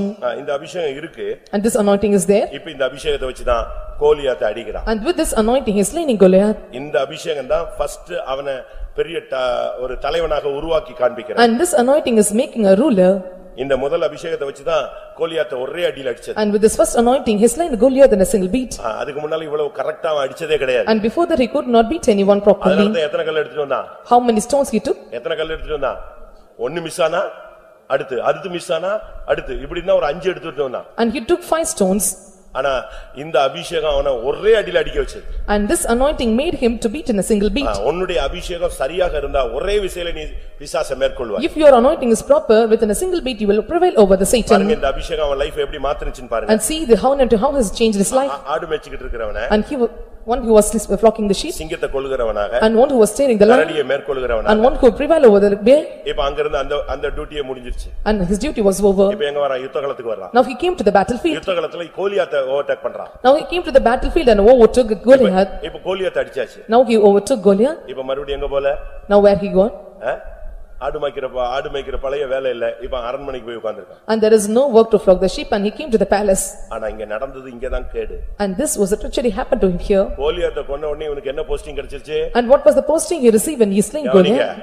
அபிஷேகம் கிடைச்ச உடனே வேலை கிடைச்சிரும். கல்யாணம் ஆயிரும். பிள்ளை பிறந்துரும் அபிஷேகம் கிடைச்ச உடனே கார் கிடைச்சிரும். வேடா என்னத்தெல்லாமோ கிடைச்சிரும். டக்குன்னு நம்ம ஆளுங்க மைண்ட் எங்க போயிருது? அதுல போயிருது. After you receive children, you will get a job, you will get marriage and you will get children, everything and wealth, everything. And after you receive- after that you will go to the next place. அபிஷேகம் கிடைச்ச உடனே உனக்கு எல்லாத்தையும் கொண்டு வந்து கொடுத்துருவாங்க And after you receive anointing, everything will be given to you. ஒருத்தனை கல்யாண விருந்து கூப்பிட்டாங்க அவன் சொன்னா நான் இப்பதான் கல்யாணம் கட்டியிருக்கேன் அதனால நான் வரமாட்டேன் And one who was called for the marriage feast and said கல்யாணம் so. கட்டின விருந்துக்கு தானே போவான் நீ ஏன் போக மாட்டேங்கிற And when he was called for the marriage and after he was gone for the feast, உன் மைண்ட் வேற லைன்ல போயிடுச்சு your mind was gone to a different ஒருத்தன் level. சொன்னா நான் புதுசா வீடு கட்டியிருக்கேன் நான் வரமாட்டேன் And he said so, and I've got new uh, did- bu- building a house, I will not come. ஒருத்தன் நான் புதுசா மாடு வாங்கியிருக்கேன் நான் மாடு பின்னாலேயே தான் சுத்துவேன் நான். And I said, I got a new car, I will go after it. அபிஷேகம் கிடைச்ச பிறகு கத்தர் உன் வாழ்க்கையில விடுதலை சுகம் ஆரோக்கியம் ஆசீர்வாதம் எல்லாம் நிறைவாய் தருவார் நீ அங்கதான் உன் கண்ணை அதுக்குள்ள செலுத்திடக்கூடாது After you receive anointing, the Lord will give you the fullness of blessings and wealth and everything to your deliverance, but you should not keep your eye after it. நடந்தது என்ன What happened? அபிஷேகம் கிடைச்ச உடனே இப்போ சிங்கத்தை கரடி எல்லாம் கொண்டு எல்லாம் பெருசா வரல கோலியாத்த அடிச்ச உடனே வீடு எங்க மாறிடுச்சு குவார்டர்ஸ் எங்க கிடைச்சிருச்சு அரண்மனையில கிடைச்சிருச்சு After he received the anointing and he was not looking towards the bear or lion, and now when he slain the Goliath and his attention turned towards the palace. அங்க போன உடனே அபிஷேகத்தை விட்டுட்டான் கிட்டாரை விட்டுட்டான் எல்லாத்தையும் விட்டுட்டான் இப்ப எங்க போகுது மீகா மீகா மீகா மீகா மீகா மீகான்னா கடைசில மீகா கூட வாழவே விடல கத்தர் After he received the anointing and he was went after the palace and he was attention paid towards the Mi- Micah. மீகா அவளை நேசித்தாளாம் உடனே சவுல் பார்த்தான் இத வச்சே கொன்றணும் இவன்ட்டான் And Micah loved Saul. பிசாசு பாரு நீ எதை நேசிக்கிறியோ அதை வச்சு உன்னை கொல்ல பாப்பா And Satan will look unto you what you love most. இவன் மீகாலை நேசித்தான் மீகால் அவளை நேசித்தான்னு பைபிள்ல இருக்கு இவன் டைவர்ட் ஆனா சவுல் சொன்னான் இந்த என் பொண்ணை வச்சு யார காலி பண்ணிடுறேன் இவனை காலி பண்ணிடுறேன் And we can see in the Bible, uh, Micah and David loved each other and Saul looked unto him and he wanted to defeat David in this way. அதுக்கேற்ற மாதிரி அவளை கல்யாணம் கட்டி செட்டில் ஆயிட்டான் And according to that, he looked married and he had settled in எத்தனை his நாள் அங்க life. இருந்தான் How many days? எத்தனை நாள் அங்க இருந்தான் How many days you stayed there? வீட்டுல அவன் வீட்டுல மனைவியோட இருக்கிறான்னு கேள்விப்பட்ட உடனே சவுல் சொன்னான் இன்னைக்கு அவனை காலி பண்ணிருந்தான் When we heard- Saul heard that he was in the house and he wanted to kill him on that day itself. அன்னையோட எத்தனையோ வருஷம் மீகாலையும் மறந்துட்டான் மீகால் இன்னொருத்தனுக்கு மனைவியாவே மாறி போயிட்டான் And from that day, he completely forgot uh, uh, Micah. நீ and- எதை நேசிக்கிறாயோ அதை வச்சே பிசாசு உன்னை ஏமாத்துவான் And what you love most and with that the love Satan may come and attack நீ you. அபிஷேகம் பெற்ற பின்பு அபிஷேகத்தை தவிர தேவனை தவிர வசனத்தை தவிர கிறிஸ்துவின் அன்பை தவிர உன்னுடைய எண்ணங்கள் எங்க திரும்புதோ அதுதான் உனக்கு கண்ணி After you receive anointing, if you are paying attention or contrary to the word of God and love of God and to the word of God and it become a snare for you. அவனுக்கு பாவம் கொஞ்சம் ஏழ்மையா இருந்ததுனால கொஞ்சம் வசதி கிடைச்ச உடனே இந்த அர்ப்பனுக்கு காலம் வந்து அர்த்தராத்திரில கூட பிடிப்பாமா அதே மாதிரி கொஞ்சம் அவனுக்கு புத்தி தடுமாறிடுச்சு So and after he getting some wealth and possessions and his changed mind was changed a little bit.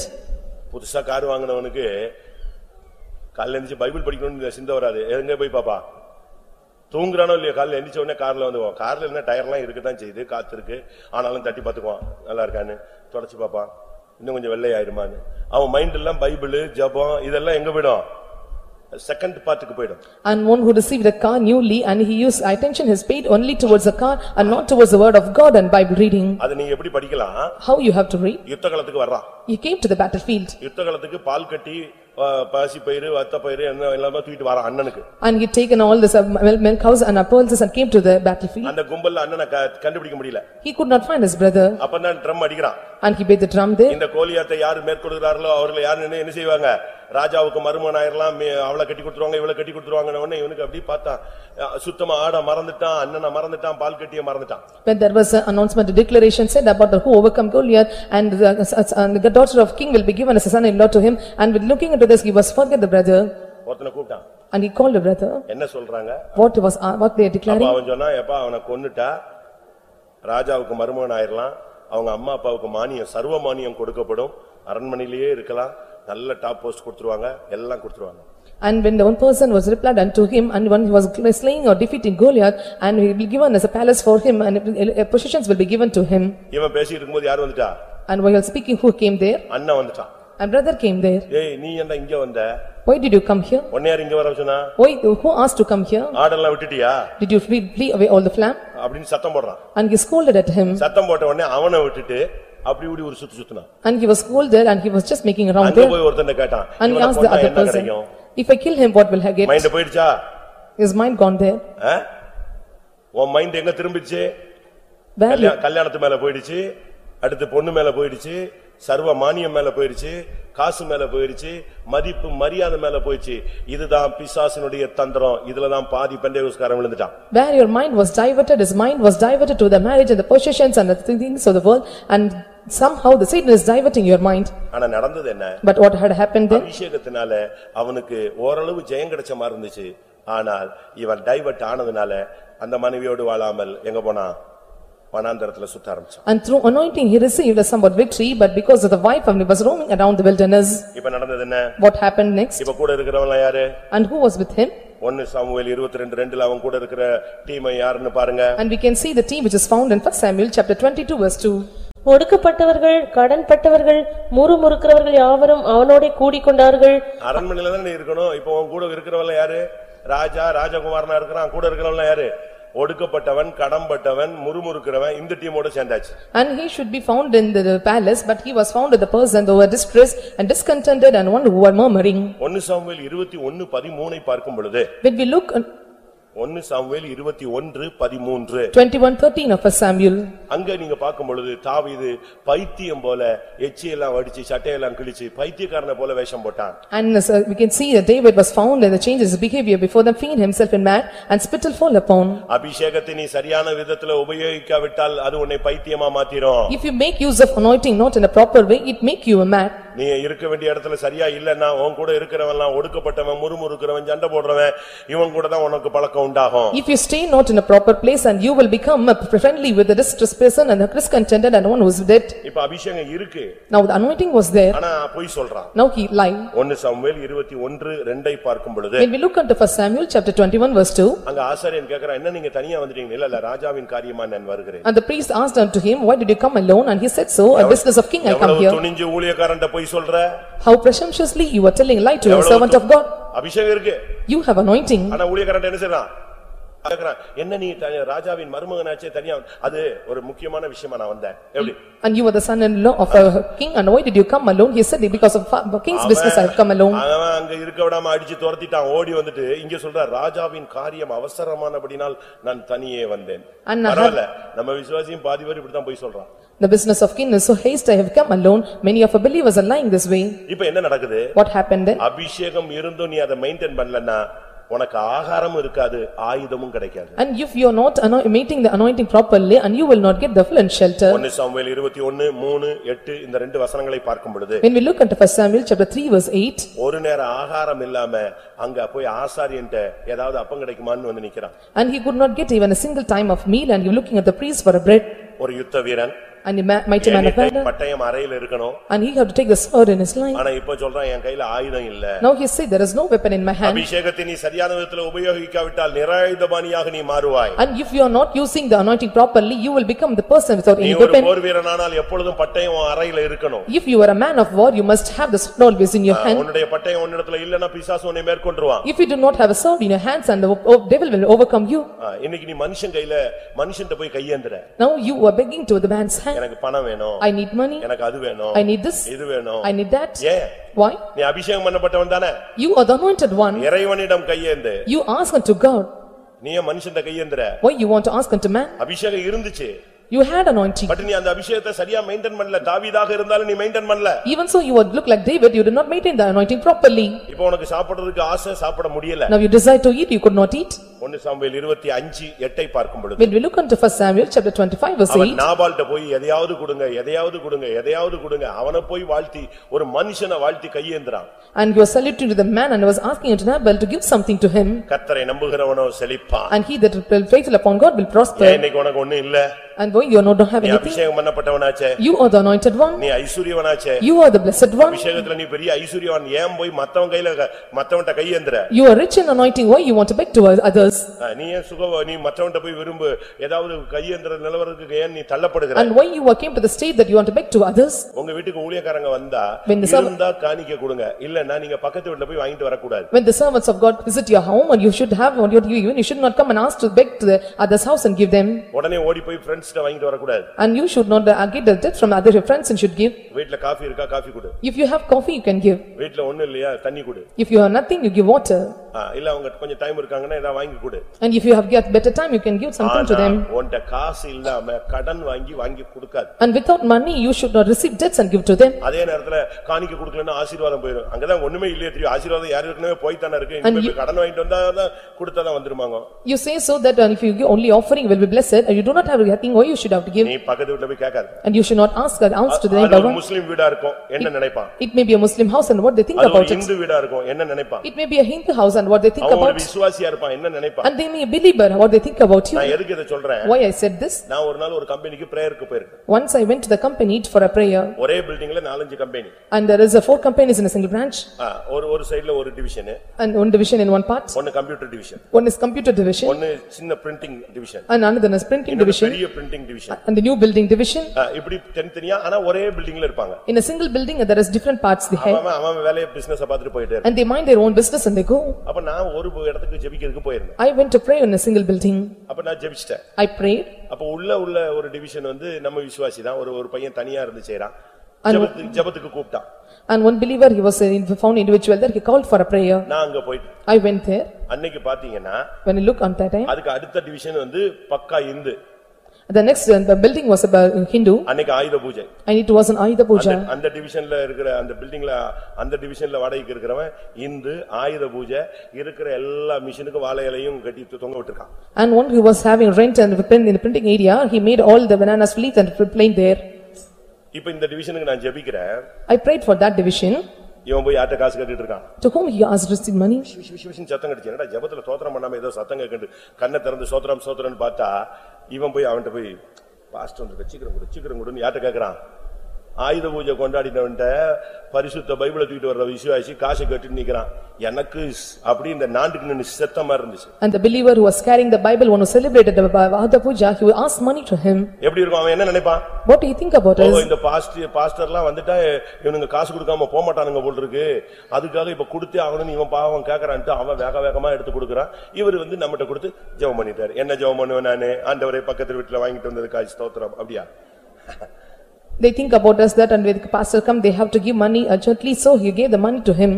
நீ நான் சொல்றது வந்து பரியாசம் அல்ல சிந்திக்கணும் I was not mocking, you have to meditate. நான் என்ன சொல்றேன் உன்கிட்ட இல்லையா ஆண்டவர்ட்ட கேளு ஆண்டவரே எனக்கு கையில எப்பொழுது என்ன இருக்கணும் காணிக்கை இருக்கணும்னு கேளு If you want to give money, you must ask, or you must have uh, uh, money at all the time. Pastor Joel சொல்லுவாரு Pastor Joel used to tell, நோவாவின் பேழைக்குள்ள உலகத்துல உள்ள எல்லா ஜீவராசிகளும் ஜோடியா இருந்துச்சு. In the ark of the Noah, all the creatures of the world were in pair. இப்ப கதவை திறந்தாச்சு. Now they opened the door. அவளும் வெளியே போயிடுச்சு. And everyone went outside, ஆனாலும் but even, ஆனாலும் but, நோவா கையில என்ன வச்சிருந்தான் but what No- what found in Noah's hand? தேவனுக்கு பலி செலுத்த ஒரு காணிக்கை பொருள் வச்சிருந்தான் And he had an offering to give, no sacrifice to அந்த God. வேலைக்குள்ள போகும்போது கூட ஆண்டவருக்கு பலி செலுத்த வேண்டிய ஒரு டைம் வந்தா காணிக்கை கொடுக்கணும்னு எதை வச்சிருந்தானா? அவன் அங்கே வெளியே இறங்கின பின்பு பலி செலுத்தினான். சுகந்த வாசனையை கர்த்தர் முகர்ந்தார் And he offered a sacrifice and Lord smelled it as a sweet smelling savor.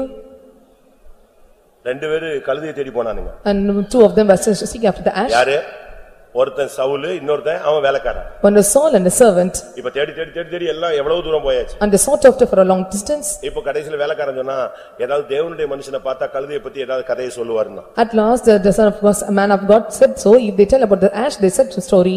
உடனே நம்ம விசுவாசி இருக்கானே அங்க சவுலு என்ன சொன்னா ஐயோ ஏன்ட்ட என்ன இல்ல? என்ன இல்ல? ஆ தேவனுடைய மனுஷனையா பார்க்க போறோம். சோத்திரம் சோத்திரம். ஏன்ட்ட என்ன இல்ல? காணிக்கை இல்லையே.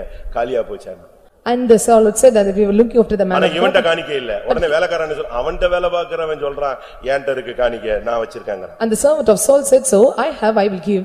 தேவனுக்கு கொடுக்க உன்ட்ட ஒண்ணு இல்லாத ஒரு நிலவரத்துல இருந்தாலும் நீ கையேந்தாத And even if you do not have O any such state, வெறுமைய கர்த்தர் பார்க்கட்டும் the Lord look unto your emptiness. அவர் அதை பார்த்து விசாரித்து உனக்கு அள்ளி கொடுக்கட்டும் The Lord visit you and he will come and give you in abundance. ஆண்டவரே வந்த இடத்துல எனக்கு கொடுக்கிறதுக்கு சக்தி இல்லாம போயிருச்சேன்னு நீ முழங்கால்ல நில்லு You- கர்த்தர் உன்னை தெய்வம் ஆசீர்வதிக்கட்டும் You must stay on knees, I don't have power to give to the place I have given and your Lord will come and bless ஊழியத்தையும் you. தாங்கக்கூடியவனா கூட கர்த்தர் உன்னை மாற்றுவார் And the Lord will may bless you that you will have abundantly. மாற்றுவாரா vis- மாற்றுவார்னு சொல்றவங்கள விசுவாசிக்கிறவங்க அல்லையே சொல்லுங்க நான் ஒரு வீட்டுக்கு ஒரு இடத்துக்கு போயிருந்தேன் I visited a place one day அன்றைக்கு அந்த வீட்டுல என்னை உட்கார வைக்கிறதுக்கு பாய் இல்ல and there was no mat to make me to sit there அன்றைக்கு அந்த வீட்டுல நான் உட்கார்றதுக்கு பாய் இல்ல and there was no mat முழங்கால் to போட்டு ஜெபிக்கிறதுக்கு பாய் கிடையாது and there was no mat to kneel down and pray. அப்படி ஒரு வீடு It was such a house. Fan கிடையாது There was no fan பயங்கர ஹாஸ்பிட்டாஸ்ல ஒரு மாடி வீடு தீ- பிடிச்ச மாதிரி இருக்கு And it was an upper chamber with asbestos seat. அதுல நான் ஜெபிச்சுட்டு வந்தேன் I prayed there and came. அதுக்கு பிறகு நானு வேற இடத்துக்கு மாறி போயிட்டேன் I transferred to some other place. திரும்ப ஒரு கன்வென்ஷன் அந்த இடத்துல வந்து நான் பிரீச்சரா போனேன் Then I became preacher and went to the convention. அப்ப பார்த்தா When I looked there, அப்ப ஒருத்தர் இன்ட்ரோடியூஸ் பண்ணாங்க uh, they introduced one person. அவரை விசாரிச்சா I uh, inquired about him. அந்த கன்வென்ஷன் பதினெட்டு லட்சம் ரூபாய் செலவு அந்த ஒரு ஆள் தான் பண்ணிருக்கான் And he has spent the eighteen lakhs of money for the convention. எந்த க- எந்த செலவு நீங்க பண்ணக்கூடாது நான் தான் பண்ணுவேன் And he said, so you don't want to spend any kind of spendings. அவன் தான் இப்போ சபையில முக்கியமான ஆள் தான் And he was an important person in the church. Pastor Wesley வந்து தான் அவர் வீட டெடிகேட் And பண்ணிருக்காங்க Pastor Wesley dedicated his house. கடைசில விசாரிச்சு பார்த்தா அன்னைக்கு ஹாஸ்பிட்டல் சீட்ல பாய் இல்லாம இருந்த அந்த ஆள் தான் அவன் When I inquired at him and he was the one who would not have a a mats to spread on. யோசிச்சு பாருங்க You think and see. கொடுக்கிற தெய்வம் தமிழ்ல சொல்லுவான் கொடுக்கிற தெய்வம் கூரையை பிச்சுட்டு கொடுக்கும் And the Lord who gives will give in நீ abundance. விசுவாசி You have to believe. உன்னுடைய அபிஷேகத்துல நீ நாபால்ட்ட கையேந்த கூடாது And with anointing you have, you should not beg hands அபிஷேகம் to பெற்றவன் others. மற்றவன் கையில கையேந்த கூடாது And you should not beg hands to others. ஆ, ஒன்னு சாமுவேல் பதினேழு இருபத்தி எட்டை பார்க்கும் பொழுது When we look unto first Samuel chapter seventeen verse அவனுடைய twenty-eight. சகோதரர்கள் எல்லாம் அவனை பகைத்தார்கள் And all the brethren hated him. கர்த்தருடைய பரிசுத்த நாமத்துக்கு மைமுண்டாவதாக May the God's holy name be முதலாம் glorified. அபிஷேகத்தினுடைய எழுச்சியும் வீழ்ச்சியும் நான் இப்ப உங்களுக்கு சொன்னேன் I tell you about the falling and raising up of the first state of anointing. ஒரு பகுதியில பிசாச ச- சிங்கத்தை கிழிக்கிறான் கரடியை கொல்றான் கோலியாத்த கொல்றான் And one part he is throwing up the lion and bear and Goliath. ஆனா அது சரியா மெயின்டைன் பண்ண முடியாதனால இப்போ காடுகள் மலைகள்ல கௌதாரிய போல ஓடிக்கிட்டு இருக்கான் But he could not maintain it properly, so like an animal, he was going upon the forest in the wilderness. எப்பவாவது அவனை மேற்கொள்ளணும்னு சவுல் ரெடியா இருந்துகிட்டே இருப்பான் And so uh, Saul is ready to somehow defeat him. கர்த்தருடைய பரிசுத்த நாமத்துக்கு மைமுண்டாவதாக Glory be to the God's holy name. நாட்கள் போனபோது When the days are past, கர்த்தர் அவனை இரண்டாம் கட்ட அபிஷேகத்துக்கு கொண்டு வருகிறார் the Lord took him to the second state of anointing, இரண்டாம் சாமுவேல் second Samuel, இரண்டாம் அதிகாரம் second chapter, நான்காம் வசனம் fourth verse. அப்பொழுது யூதாவின் மனுஷர் வந்து அங்கே தாவீதை யூதா வம்சத்தாரின் மேல் ராஜாவாக அபிஷேகம் பண்ணினார்கள். இங்கே இரண்டாவது அபிஷேகம். And second part of anointing, இங்கே தாவீதை இரண்டாம் விசை அபிஷேகம் பண்ணுகிறார் and uh, David was anointed twice, இந்த second time. அபிஷேகம் ராஜ அபிஷேகம் And this is the kingly anointing, இது சகோதரர் மத்தியில் அல்ல it is not among the brethren. ஆ, இந்த அபிஷேகம் எப்ரோனில் கிடைத்ததாக இரண்டாம் அதிகாரம் ஒன்னாம் வசனம் சொல்லுகிறது And we look unto second chapter first verse, I received the anointing Hebron. இது யூதா வம்சத்தாரின் மேல் ராஜாவாக அபிஷேகம் பண்ணப்படுதல் And this is the anointing which is given upon David over the house of Judah. அபிஷேகம் கிடைச்ச உடனே நீ கிங்க அல்ல After you receive anointing, you are not a king, நீ அந்த போஸ்டிங்ல வந்து உட்காரணும் and you are sitting in that posting. இங்கே அவனுக்கு அபிஷேகம் கிடைத்தது He received the anointing, எங்கெல்லாம் சுத்திட்டே இருந்தான் he roamed somewhere, ஆனா ரெண்டாவது இப்பொழுது அவனுக்கு ஒரு அபிஷேகம் கிடைக்குது and second time he received the anointing. நல்ல கவனிங்க ஒரு கோத்திரத்தின் மேல் ராஜாவாய் மாறுகிறான் Look properly, and he become the king over a house of Judah. இருக்கிறது எத்தனை கோத்திரம் How many tribes were there? இருக்கிறது பனிரெண்டு கோத்திரம் There were twelve tribes. ஆனா இவனுக்கு கிடைச்ச அபிஷேகத்துல செகண்ட் அபிஷேகத்துல கிடைச்சது யூதா கோத்திரத்தின் மேல் மட்டும் அபிஷேகம் Only in the tribe of Judah he received the anointing. இதுல எவ்வளவு நாள் இருந்தா How many days he stood there? அஹ், ரெண்டு சாமுவேல் மூணாம் அதிகாரத்துல நான் பார்க்கும் பொழுது When we look into second Samuel chapter three, sorry ஐந்தாம் அதிகாரத்தை பார்க்கும் பொழுது when we look into fifth chapter, இந்த இடத்திலே அவன் ஏழு வருஷம் ஆறு மாதம் ராஜாவாக இருக்கிறான் seven years and six months of time he was a king. இரண்டு சாமுவேல் ஐந்து ஐந்து Five, five of second Samuel. அவன் எப்ரோனிலே யூதாவின் மேல் ஏழு வருஷமும் ஆறு மாதமும் ஏழரை வருஷம் ஒரே ஒரு கோத்திரத்தின் மேல் ராஜாவாக இந்த இரண்டாம் கட்ட அபிஷேகத்தோடு வாழ்ந்து கொண்டு வந்தான் And he received the second part of anointing and had reigned over the Judah for seven and a half years. Hebron என்று சொன்னால் ஐக்கியத்தை காண்பிக்கிறது When we tell Hebron, it is a unity or the fellowship. அது ஒரு சபையை It காண்பிக்கிறது shows the church. யூதா என்று சொன்னால் துதிப்பதை When காண்பிக்கிறது we tell Judah, it is praise. இந்த இரண்டாம் கட்ட அபிஷேகம் உன்னை ஒரு ஜெப வீரனாய் துதிக்கிறவனாய் மாற்றி The second position or second part of the status of anointing will make you the person who praise God and prayer warrior. இதுல கிடைக்கிற நன்மை என்ன What is the goodness we receive from this? இரண்டாம் சாமுவேல் மூணாம் அதிகாரம் முதலாம் வசனம் Second Samuel chapter three verse one.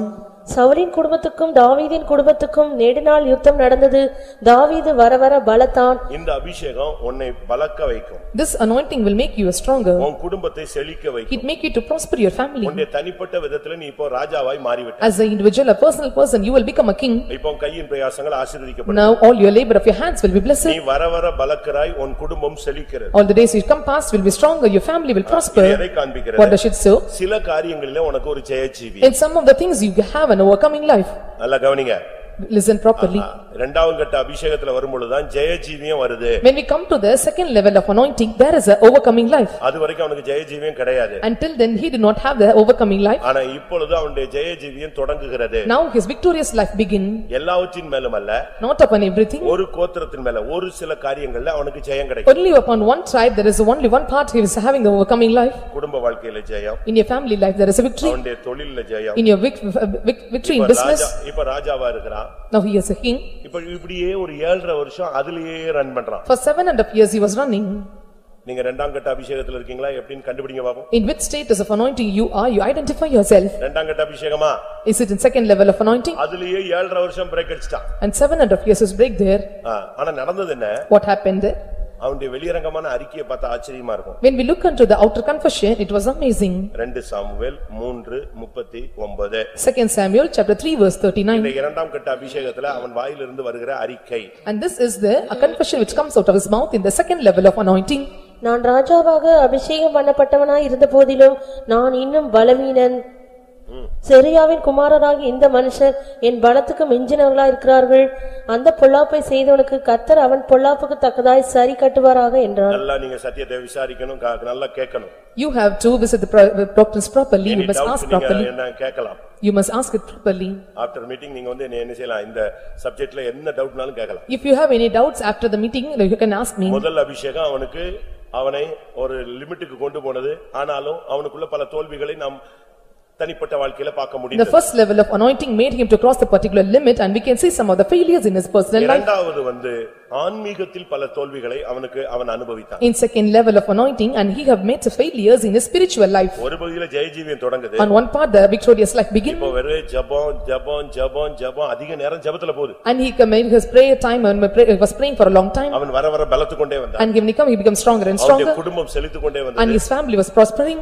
நல்ல ஒரு ஸ்டைல்ல போய்கிட்டு இருக்கு and it was going in a particular style. இப்ப அவனை கூப்பிட்டா தாவீதுன்னா யாரு king When we called the David, he is a king. இதுவரைக்கும் அவனுக்கு கிங்னு பேர் வரல Until then, he was not receiving the name called இப்ப king. ராஜ அபிஷேகத்தோடு இருக்கிறான் Now with he was resting with the kingly anointing, but ஒரே ஒரு கோத்திரத்துல தான் அவனுக்கு ஜெயம் கிடைச்சது but only one tribe he got victory. இன்னும் பதினோரு கோத்திரம் இருக்கு அது கண்ட்ரோல்ல வர மாட்டாங்க Yet he have eleven tribes and it is not coming under his control. இதுல ஏழரை வருஷம் போராடுறான் And seven and a half years he was striving. இந்த அபிஷேகத்துல தான் ஏழரை வருஷம் இருக்கிறான் And seven and a half years rested in that ஆனா இந்த anointing. அபிஷேகத்துல இப்ப அறிக்கை சொல்றான் நான் ராஜாவாக அபிஷேகம் பண்ணப்பட்டவனா இருந்த போதிலும் இன்னும் நான் பலவீன Until I even I was anointed as a king, I am, the- I am weak in this day. காரணம் என்ன What was the reason?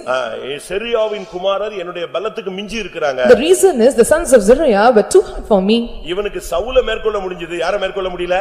செரியாவின் குமாரனை மேற்கொள்ள முடியல And he could say able to win over the soul, but he is not able to win over the sons of ரெண்டு Zeruiah. Samuel மூன்று ஒன்று மூணாம் அதிகாரம் முதலாம் வசனத்துல சவுலை இவன் ஜெயிக்கிறான் In second Samuel chapter three verse one, he overcome Sa- Saul. ஆனா அதே அதிகாரம் முப்பத்தி ஒன்பதாம் வசனம் கடைசி வசனத்துல செரியாவின் குமாரர்கிட்ட தோல்வி அடைகிறான் The same chapter, the last verse, he was getting defeated with the sons of Zeruiah. சில காரியங்கள்ல உனக்கு ஜெயம் கிடைக்குது சில காரியங்கள்ல உனக்கு தோல்வி ஆகுது In some things you got victory, in some things you faced அது என்ன failure. செ- அது என்ன செரியாவின் குமாரர் Who was the sons of Zeruiah? ஒருத்தன் யோவாப் One is Joab, இரண்டாவது அபிசாய் and second is Abishai, மூன்றாவது ஆசகேல் and third is இந்த Hezekiah. மூணு பேர் தான் செரியாவினுடைய குமாரர் இவங்க வந்து என் பலத்துக்கு மிஞ்சி இருக்காங்கன்னு தாவீது சொல்றார் These three are the sons of Zeruiah and said so, they are stronger than me.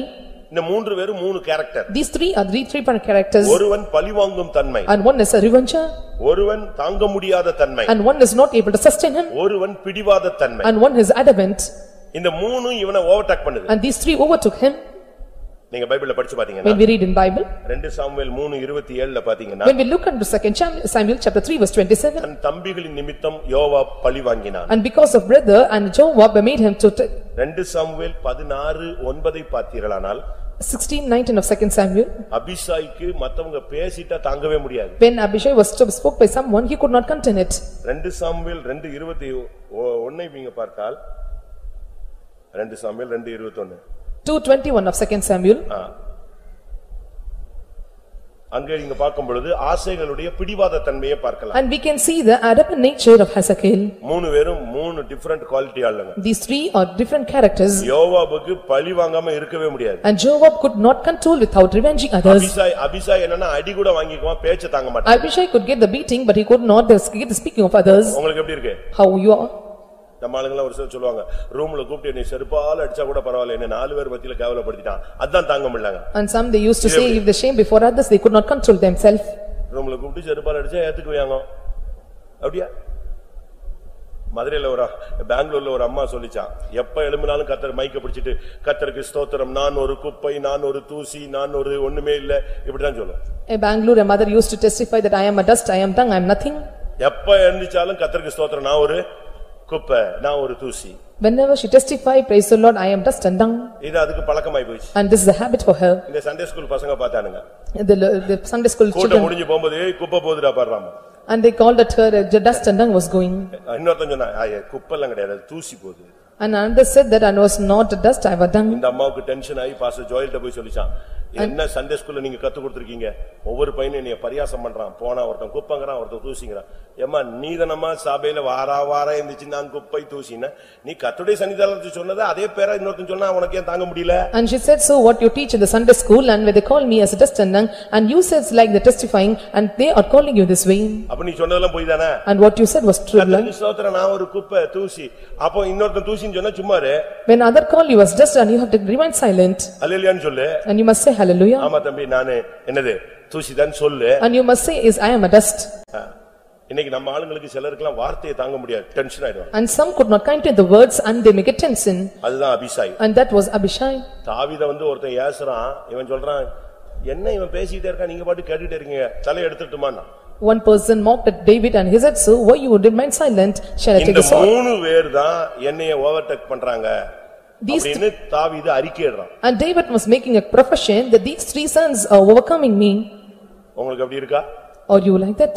என்னதான் அபிஷேகத்துல வந்தாலும் பழி வாங்குற ஆவி வந்துருச்சா Even you feel an anointing or you having the spirit of taking vengeance? என்னதான் அபிஷேகத்துல நிரம்பினாலும் யாராவது உங்களை பேசிட்டாங்கன்னா மூணு நாள் சாப்பிடாம உட்கார்ந்து சோத்ரா சோத்ரா சோத்ரா ஆண்டவரேன்னு போட்டு ஜெபிக்கிறீங்களா And even someone is speaking against you, take fasting for three days or you praying and pray- praise the Lord? இன்னும் சில காரியங்கள்ல பிடிவாத தன்மை போயிருச்சா இருக்கா Are you having the adamant nature நீ in you? அபிஷேகம் இரண்டாம் கட்டத்தில் வந்திருக்கலாம் You may come to the second step of anointing. உனக்கு ஒரு சில ஜெ- காரியங்கள்ல ஜெயஜீவன் உண்டாயிருக்கும் In some certain things you might have received the overcoming ஆனா nature. பைபிள் சொல்லுகிறது நீ முற்றும் ஜெயம் கொள்ள வேண்டும் But the Bible say you must receive the entire overcoming. இது இவனுடைய வாழ்க்கையில நீங்க பார்க்கும் பொழுது When you look this, இது இரண்டாவது அபிஷேகம் and this is the second level of அதே anointing. ரெண்டு சாமுவேல் ஐந்தாம் அதிகாரத்தில் When we look into the same se- second chapter, chapter five, ஐந்தாம் அதிகாரம் மூணாம் வசனத்துக்கு வாங்க third verse. இஸ்ரவேலின் மூப்பர் எல்லாரும் எப்ரோனிலே ராஜாவிடத்தில் வந்தார்கள் தாவீது ராஜா எப்ரோனிலே கர்த்தருக்கு முன்பாக அவர்களோட உடன்படிக்கை பண்ணின பின்பு அவர்கள் தாவீதை இஸ்ரவேலின் மேல் ராஜாவாக அபிஷேகம் பண்ணினார்கள் இப்பொழுது மூன்றாவது அபிஷேகம் இஸ்ரவேலின் மேல் This is the third level of anointing upon Israel. அப்படின்னு என்ன அர்த்தம் What does it mean? சமஸ்த இஸ்ரவேலின் மேல் அவன் ராஜாவாய் மாறினான் And he became the king over is all over Israel. அஞ்சாம் வசனம் அவன் எப்ரோனில் யூதாவின் மேல் ஏழு வருஷமும் ஆறு மாதமும் எருசலேமிலே சமஸ்த இஸ்ரவேலின் மேலும் யூதாவின் மேலும் முப்பத்து மூன்று வருஷமும் ராஜபாரம் பண்ணினான். எப்படி? அதுக்கு பிறகு இப்ப சமஸ்த இஸ்ரவேலின் மேலும் ராஜாவாயாச்சு. பனிரெண்டு கோத்திரமும் கண்ட்ரோல் ஆயிடுச்சு. இதுல எத்தனை வருஷம் நின்னா? இந்த அபிஷேகத்துல நின்னது எத்தனை வருஷம்? முப்பத்தி மூணு வருஷம் He was anointed over all Israel and he became the king of all, like, able to control over all இதுதான் tribes.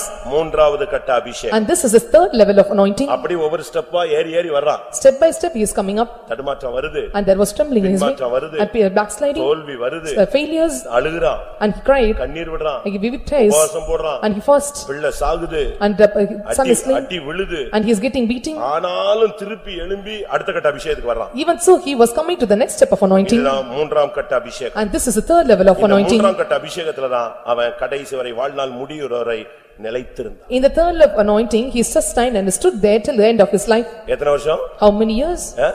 முற்றும் ஜெயங்கொண்ட வாழ்க்கை முப்பத்தி மூன்று வருடம் The entire perfection of life for thirty-three and a half years. முப்பத்தி மூணு வருஷம் சமஸ்த இஸ்ரவேல் மேல் எருசலேமிலே ராஜாவாய் உட்கார்ந்திருந்தான் And thirty-three years and he was a king over all Israel and Judah in அவனுடைய Jerusalem. வாழ்க்கையில உள்ள ஒரு பூரணம் அதுதான் And this is the perfection in his life. இன்றைக்கு எத்தனை பேர் அப்படி மாற முடியும் How many are able to change like that? கர்த்தருடைய பரிசுத்த நாமத்துக்கு May மைமுண்டாவதா the God's holy name be glorified. இந்த மூன்றாம் கட்ட அபிஷேகம் பெற்ற பின்புதான் இவன் லைஃப்ல totally change After he received the third level of anointing, there was a total change in his life. ஒரு பகுதியில தோல்வி வருது In one part, he received failure அடி கத்தர் ஜட்ஜ்மெண்ட் கொடுக்கிறாரு and the Lord is giving him judgment, ஆனாலும் அவனை விட மாட்டேங்கிறாரு but he still is not leaving him. அடி விழும்போது ஒரு வசனம் சொல்லுவான் கர்த்தருடைய கிருபை என்றும் உள்ளது கர்த்தருடைய கிருபை என்றும் உள்ளதுமா When you get beating, and he used to say, "My grace of God is forever for me." போட்டு வாங்க வெளு வெளுன்னு வெளுப்பாரு And the Lord beat him nicely. மூணு நாள் சாப்பிட மாட்டான் ஏழு நாள் சாப்பிட மாட்டான் பேசாம கிடப்பான் Three days, seven days, he will not eat and he remained silent. ஆ, பிள்ளை செத்துச்சுன்னு சொல்லுவாங்க And he said, "So son was dead." அவன் எழுப்பி உட்கார்ந்து kர்த்தருடைய கிருபை என்றும் உள்ளதுமா And he said, "Mercy- "In the mercy of the Lord endureth forever." ஆண்டவர் கால்ல விழுந்து விழுந்து விழுந்து மூணாவது கட்ட அபிஷேகத்துல நின்னுட்டான் Falling upon the feet of him and he was great to reach to the third level of இன்னைக்கு உங்களுடைய anointing. எந்த அபிஷேகத்துல நீங்க இருக்கீங்க In what state of anointing you இந்த have? மூன்றாம் கட்ட அபிஷேகத்தில் வந்தால் என்ன நடக்கும் When you come to the third level of anointing, what will happen? ஆ, ரெண்டு சாமுவேல் ஐந்தாம் அதிகாரத்துல தான் இந்த மூன்றாம் கட்ட அபிஷேகத்துக்கு வர்றான் He come to the third level of anointing in second Samuel chapter four, fifth verse. இப்ப என்ன நடந்தது What happened there? ரெண்டு சாமுவேல் ஐந்து ஏழு Five, seven of second Samuel. ஆனாலும் தாவீது சீயோன் கோட்டையை பிடித்தான் ஆனாலும் தூங்காத ஆனாலும் தாவீது சீயோன் கோட்டையை பிடித்தான் David took the stronghold of Zion. எப்ப பிடிச்சான் When did he took? முதல் கட்ட அபிஷேகத்துல சீயோனே தெரியாது First level of anointing, he did not know what is இரண்டாவது Zion. கட்ட அபிஷேகத்துல சீயோன் எங்க இருக்குன்னே அவனுக்கு தெரியாது In second level of anointing, he did not know where is Zion. ஆனா மூணாம் கட்ட அபிஷேகம் வந்த பொழுது எதை பிடிச்சிட்டான் எதை பிடிச்சாச்சு தாவீது சீயோனை பிடித்தான் When he took the third level of anointing, he overtook this மூன்றாம் கட்ட stronghold of Zion. அபிஷேகம் வராத எந்த ஒரு விசுவாசியும் புதிய எருசலேமையும் பிடிக்க முடியாது எந்த ஒரு ஊழியனும் சீயோனை பிடிக்க முடியாது And no believer, no servant of God can receive the Zion and New Jerusalem simultaneously and without receiving the third kind of state எழுதி of வச்சுக்க anointing. எழுதி வச்சுக்க மூன்றாம் கட்ட அபிஷேகம் பெறாத எந்த ஒரு ஊழியனும் சீயோனை பிடிக்க முடியாது மூன்றாம் கட்ட அபிஷேகம் பெறாத எந்த விசுவாசியும் புதிய எருசலேமில கால் வைக்க முடியாது And note down properly, and no servant of God can reach Zion and no believer can reach Jerusalem even if they receive the third level of anointing. அபிஷேகம் உன்னை சீயோனுக்கு கொண்டு போகணும் Anointing will take you to Zion, அபிஷேகம் உன்னை புதிய எருசலேமுக்கு கொண்டு போகணும் anointing will take you to New Jerusalem, அபிஷேகம் உன்னை நடுவுல விடுறது கிடையாது anointing will not leave you in the halfway. நீ அடுத்த ஸ்டெப்புக்கு வந்துகிட்டே இருக்கணும் You must come to the next step. அதுக்கு தானங்க காத்திரு கூட்டம் வார வாரம் வைக்கிறோம் That's what we conduct tiring meeting every week. அதுக்கு தான் ஒவ்வொரு காத்திரு கூட்டத்திலையும் ஒவ்வொரு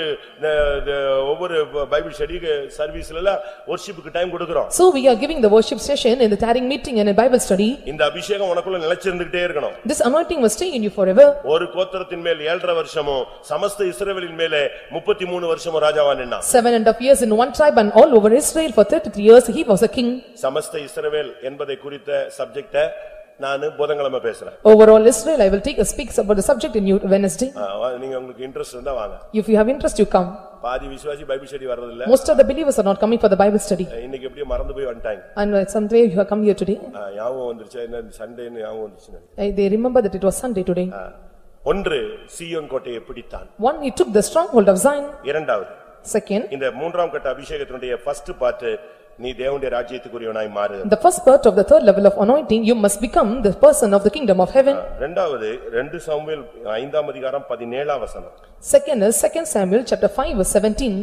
தாவீதை இஸ்ரவேலின் மேல் ராஜாவாக அபிஷேகம் பண்ணினார்கள் என்று பெலிஸ்தர் கேள்விப்பட்டபோது அவர்கள் எல்லாரும் தாவீதை தேடும்படி வந்தார்கள். அதை தாவீது கேட்டபோது ஒரு அரணிப்பான இடத்துக்கு போனான். முதல்ல அபிஷேகம் பண்ணப்பட்டது ஒருத்தனும் தேடல. இப்ப சமஸ்த இஸ்ரவேலின் மேல அவனுக்கு ராஜாவா மாறிட்டானவனே அட எப்படிடா இவனை விட்டுட்டோமேன்னு சொல்லி அவ்வளவு பேர் விரட்ட ஆரம்பிச்சிட்டான் And when they received the first level of anointing, no one came after him, but when he received the anointing over all Israel and he came மூன்றாம் and கட்ட sought after him. அபிஷேகம் நீ பெற்றால் உனக்கு விரோதமாய் பிசாசு வருவான் When you receive the third level of anointing, Satan will come against you.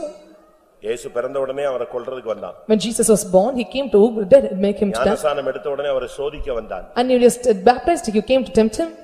இன்னொரு கட்டத்துல வரும்பொழுது இதோ உலகத்தின் அதிபதி என்னிடத்தில் வருகிறான் அவனுடையது என்னிடத்துல இல்லைன்னு சொன்னார் And he said, "So the prince of the world come unto me, and the things of the thing was not unto me." ஒவ்வொரு கட்டத்திலையும் பிசாசு வருவான் In every state, Satan may come to you. ஞானசானம் பெற்றா மட்டும்தான் வருவான் இல்ல மூணாம் கட்ட அபிஷேகத்துக்கு பிறகு பெலிஸ்தர்கள் மொத்தமா வந்துட்டாங்க Not only the thing that you receive on our baptism, he will come unto you. When he received the third state of anointing, he came unto him. இவன் என்ன பண்ணா What he did so? அழகா அப்படி விலகி அரணிப்பான இடத்துல போய் தன்னை And பாதுகாத்தான் beautifully, he went to the place was safe and he went there. மூன்றாம் கட்ட அபிஷேகம் உன்னை தன்னுடைய கூடாரத்தில் மறைத்து வைக்கும் The third level of anointing will preserve you in his tents. தீங்கு நாளில் தன்னுடைய கூடாரத்தில் உன்னை மறைத்து வைப்பார் And the Lord will keep you in his tents at the days of evil. அவன் அரணிப்பான இடத்துக்கு போனான் And he went to the safest place.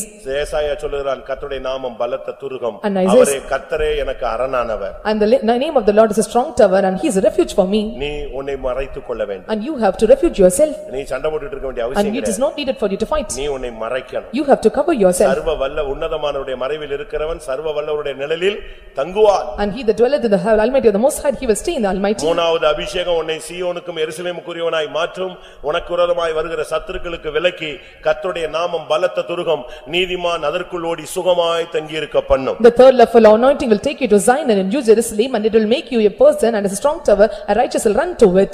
மூன்றாவதாக Thirdly, இந்த மூன்றாம் கட்ட அபிஷேகத்தினுடைய மூன்றாவது பகுதி என்ன the third part of the third state of anointing, இரண்டாம் சாமுவேல் ஐந்தாம் அதிகாரத்துல பார்க்கும் பொழுது when we look into second Samuel chapter five, இந்த சத்துருக்கள் தாவீதோடு எதிர்த்து நிக்க ஆரம்பித்தார் and these enemies started to resist against David. அங்க என்ன நடந்தது What happened there? தண்ணீர் உடைந்தோடுகிறது போல கத்தர் சத்துருவை முறியடித்தார் And he discomfited the Satan and the enemies that water were broken around it. ரெண்டு சாமுவேல் ஐந்து இருபதுல பார்க்கும் பொழுது When we look into second Samuel chapter five verse அந்த twenty, இடத்துலதான் தேவனுக்கு பெயர் பாகால் பிராசிம் in that place it is called the Baal Perazim. ஆ, பாகால் பிராசிம் சொன்னதுக்கு காரணம் என்னன்னா கத்தர் என் சத்துருக்களை தண்ணீர் உடைந்து ஓடுறது போல உடைத்து ஓட பண்ண And we can see, dam உடைஞ்சா எப்படி தண்ணி போகும் அதே மாதிரி சத்துருவை உடைச்சு நொறுக்குனாருன்னு சொல்றான் and it is mentioned here as a name called the Baal Perazim and they make it broken upon the enemies before me as a breach of waters. எதுக்கெல்லாம் நீ பயந்தையோ அந்த வல்லமைகள்லாம் சிதறடிக்கப்படும் And what are the things you feared about and all the powers will be scattered. எதுக்கெல்லாம் நடுங்கி ஒரு காலத்துல ஓடி ஒளிஞ்சியோ அதை எதிர்த்து நீ நீ சிதறடிப்பார் To watch with powers you were scattered and you were trembled around, the Lord will scatter under all those powers. இதை விட இன்னொரு super point The other super point was, மூணாவது கட்ட அபிஷேகம் வந்தா when the third anointing comes, பெட்டி ஓன்ட்ட வரும் the ark will come unto you. எந்த பெட்டி ரெண்டாம் ரெண்டாம் சாமுவேல் ஆறாம் அதிகாரத்துல பார்க்கும் பொழுது When we look at the second Samuel chapter six, தாவீது பெட்டியை தன்னுடைய வீட்டுக்கு கொண்டு வந்தான் and David brought the ark of God to his house. வாசியங்கள் பன்னிரெண்டாம் வசனம் Twelfth verse. தேவனுடைய பெட்டி நிமித்தம் கர்த்தர் ஓபேத் ஏதோமின் வீட்டையும் அவனுக்கு உண்டான எல்லாவற்றையும் ஆசீர்வதித்தார் என்று தாவீது ராஜாவுக்கு அறிவிக்கப்பட்டது. அப்பொழுது தாவீது தேவனுடைய பெட்டியை ஓபேத் ஏதோமின் வீட்டிலிருந்து தாவீதின் நகரத்துக்கு மகிழ்ச்சியுடனே கொண்டு வந்தான். இப்ப பெட்டி எங்க கொண்டு வந்துட்டான் Now நீ when- மூணாம் கட்ட அபிஷேகத்துல இருந்தேன்னா பெட்டி எங்க இருந்தாலும் உன்ட்ட வரும் வல்லமை வரங்கள் கிருபைகள் தாளந்துகள் எல்லாம் வல்லமை விளங்கும் பெட்டியோடு கத்தர் உன்னோடு வந்து விடுவார் When you bring the uh, ark to the house and Lord will give you all the talents and gifts and to be with you and give bring back the ark unto you.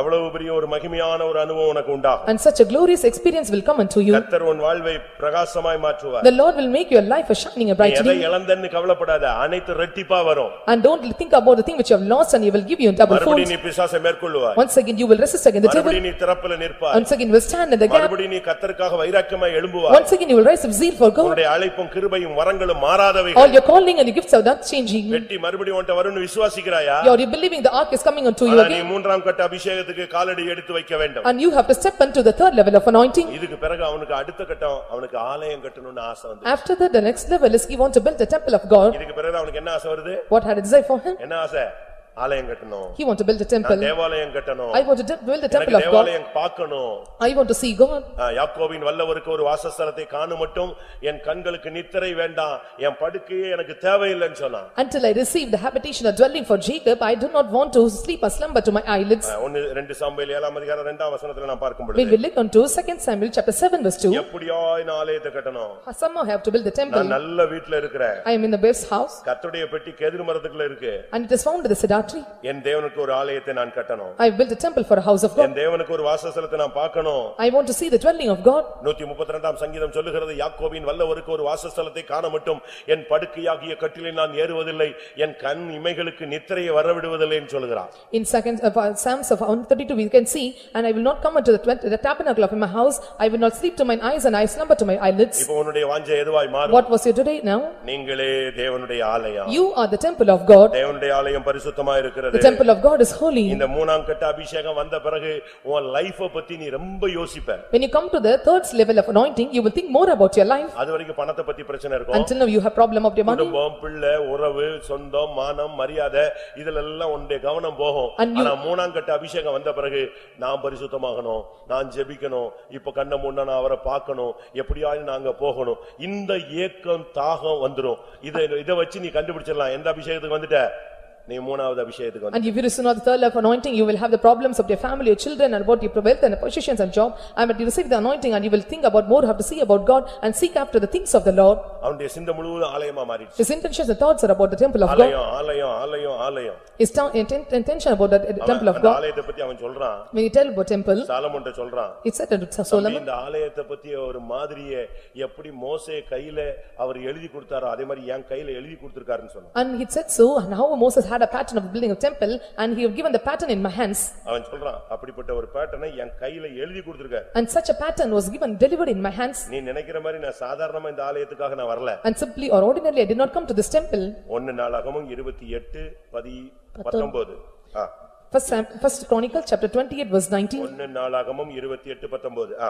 இந்த மாதிரியின்படி சகல வேலைகளும் எனக்கு தெரியப்படுத்த இவைகளையெல்லாம் கர்த்தருடைய கரத்தினால் எனக்கு எழுதி கொடுக்கப்பட்டது இந்த ஆலயத்தை நீ பரிசுத்தமாய் கட்டி எழுப்ப தேவனுடைய கரத்தினால் எழுதி கொடுக்கப்பட்ட பைபிள் உன் கையில இருக்கு Until you make this temple of God as a holy, and the God's written Bible is vested in your hands. தாவீது சொல்லுகிறான் என் கரத்தில் தேவனுடைய கரத்தினால எழுதி கொடுக்கப்பட்டது என் கையில வச்சிருக்கிறேன் And David said so, the Lord made me understanding by writing, he had given upon my hands. ஜீவியமும் என்னுடைய ஜீவியமும் ஆலயமாய் கட்டி எழுப்பப்படுவதற்கு தேவனுடைய கரத்தினால் எழுதப்பட்ட பைபிள் உன் கையில இருக்கு என் கையில இருக்கு Your life and my life to be built up, and the, the- the, the, God's Bible was given and delivered in our hands. ஒன்று மூன்றாம் கட்ட அபிஷேகம் வந்தால் நீ சீயோனுக்குரியவனாய் எருசலேமுக்குரியவனாய் போவாய் One is the anointing of Zion come- comes, the third level of anointing comes, you become a Zion and you Jerusalem. எத்தனை வல்லமைகள் வந்தாலும் நீ அரணிப்பான இடத்தில் போய் உன்னை தாப்புவித்துக் கொள்வாய் Any powers may come against you, but you will go to the refuge place and you will protect எந்த yourself. யுத்தம் வந்தாலும் நீ ஜெயிப்பாய் And any kind of battle may come against you, you will conquer. நாலாவது உன் பெட்டி உன்னிடத்தில் வரும் Fourthly, the ark will return unto you. ஐந்தாவது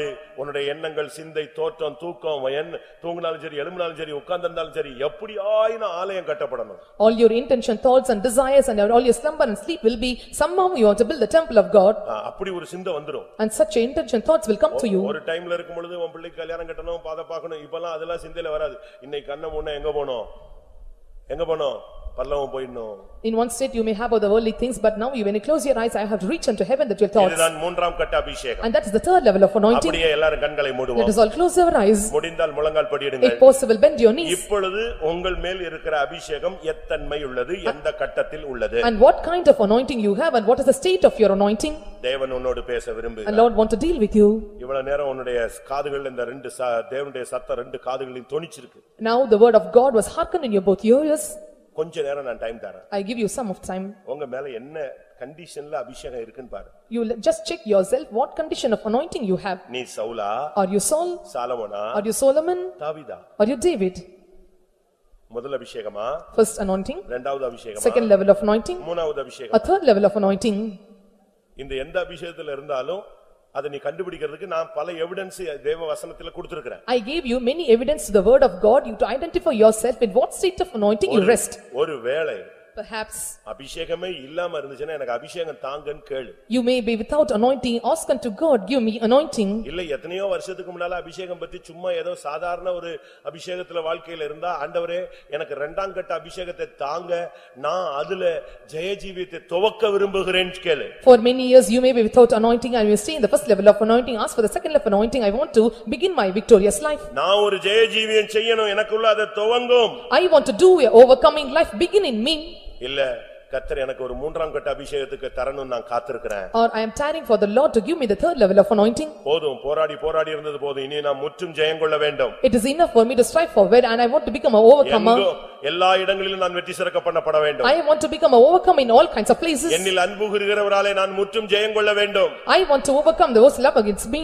இந்த சிந்தை வரும் பொழுது When we get this mind, உன்னுடைய சியோன் உன்னுடைய எருசலேம் உனக்கு முன்னால வந்துரும் your Zion, your Jeru- your Jerusalem will come before you. எந்த வல்லமை வந்தாலும் நீ உன்னை தப்புவித்துக் கொள்வாய் Any power may come against you, but you will rescue எந்த yourself. யுத்தம் நடந்தாலும் நீ ஜெயித்து கொண்டே வருவாய் And any kind of battle may come, you will நீ conquer. இழந்து போன தந்த பெட்டி உன்னை தேடி வரும் And the Lord, all that you have lost will come seek after you. கிருபைகள் வரங்கள் தாளந்துகள் உன்னை தேடி வரும் Grace, gifts and talents will seek after you.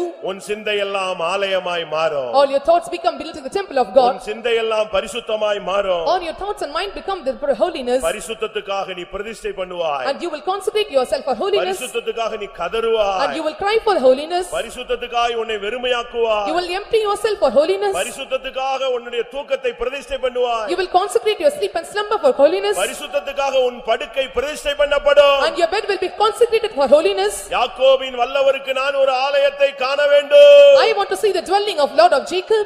அருமையான தேவனுடைய ஜனமே Dear child of God, உன்மேல் இருக்கிற அபிஷேகம் எந்த தன்மை உள்ளது what anointing you have and rest upon you. அபிஷேகம் பெற்றவங்க எல்லாம் கை வைத்து Those who are anointed, raise up your hands. Okay கீழே போடு இரண்டாம் கட்ட அபிஷேகத்துல தான் நான் இருக்கிறேன் கொஞ்சம் ஜெய விஜயம் இருக்கு. ஆனாலும் பயங்கர போராட்டம். இன்னும் எனக்கு சில காரியங்கள்ல ஜெயம் இல்ல பிடிவாதங்கள் இருக்கு. எனக்குள்ள தாங்க முடியல சில வார்த்தைகளை தாங்க முடியல. இன்னும் பழி வாங்குற சுவாபங்கள் இருக்கு. ஆனா ஒரு விதத்துல ஆசீர்வாதமா இருந்த மாதிரி தெரியுது. இப்படி ஒரு போராட்டம் இருக்குன்னு சொல்றவங்க யாராவது இருந்தா கை வைத்துங்க. I stay in second level of anointing, I was having just overcoming life, I was in quarrel, I was I'm nature, those who said, raise up your hands. பிரியமானவர்களே இதுல நிலைத்திருக்காதிருங்க Dearly beloved, don't stay in this, போதும். It's enough. ஏழரை வருஷம் அதுல தாவீது இருந்தது போதும் And it was enough, the rebel stood, stayed the seven of years. தெய்வம் இப்பொழுது அவனை சமஸ்த வல்லமைகள் மேல ராஜாவாய மாற்ற And விரும்புகிறார் God want to become a king over, all over Israel. உன்னை அழைத்து கொண்டு வந்ததுக்கு காரணமே நீ முற்றும் ஜெயம் கொள்ள வேண்டும் The reason for you to call him yourself, you must become an overcomer.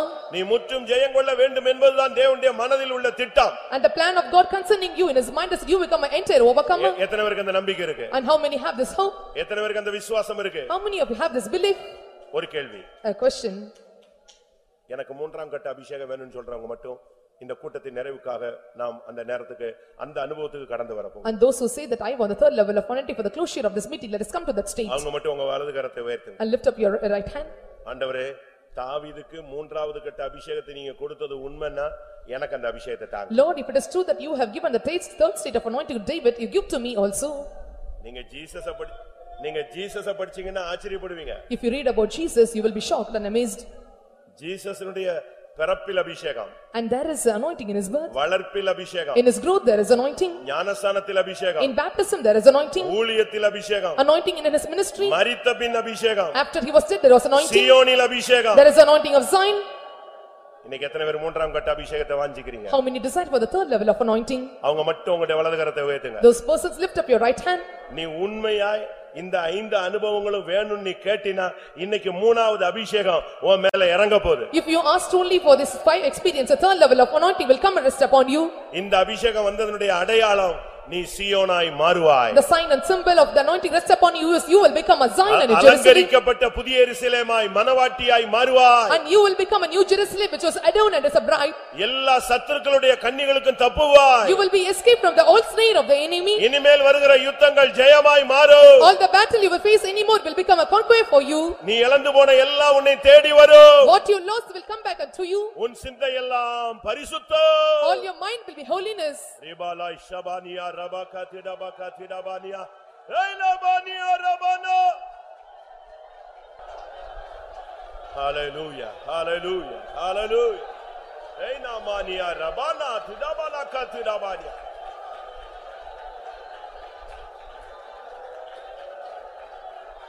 ஆமா எனக்கு இந்த பிரசங்கத்தினுடைய நோக்க நேரத்துல இருந்து இந்த வசனம் பேசணும்னு ஒரு போராட்டம் The purpose of the message, I have the urging to speak about this verse today. எனக்கு இப்படி ஒரு போராட்டம் இருந்துச்சுன்னா தேவனுக்கு எவ்வளவு போராட்டம் இருக்கும் And if I had such a conflict and how how conflict the Lord may have. எப்படியாயினும் என் ஜனத்தை அந்த மூணாவது அபிஷேகம் தூக்கிட்டு வந்துடணும் தான் இன்னைக்கு அவர் வந்திருக்காரு And the Lord have come in the midst to take our people to the third state of anointing.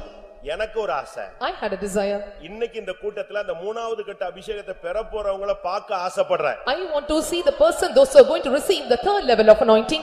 ஆமென் இந்த அபிஷேகம் இப்ப இறங்குது நீ பெற்றுக்கொண்டால் நீ பாக்கியவான் This anointing descend in our midst. If you are receiving, you are blessed.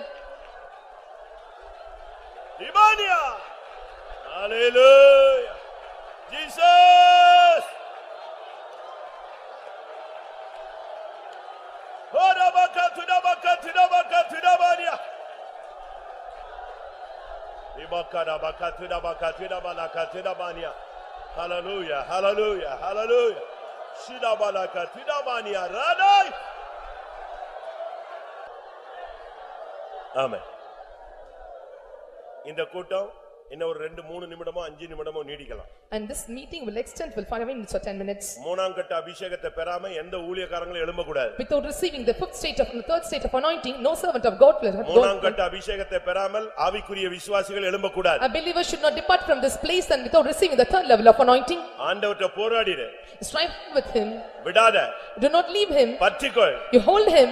அந்த மூணாம் கட்ட அபிஷேகத்தை என் தலையில ஊத்துங்க Upon my head, the third level of anointing. நீங்கள் நிரப்பி கொண்டு வந்த தைல குப்பியை என் தலையில் வார்த்து விடு You just pour upon the head of my oil that my oil come on this. இயேசுவே என் தலையில் ஊற்று Lord Jesus, pour upon my head.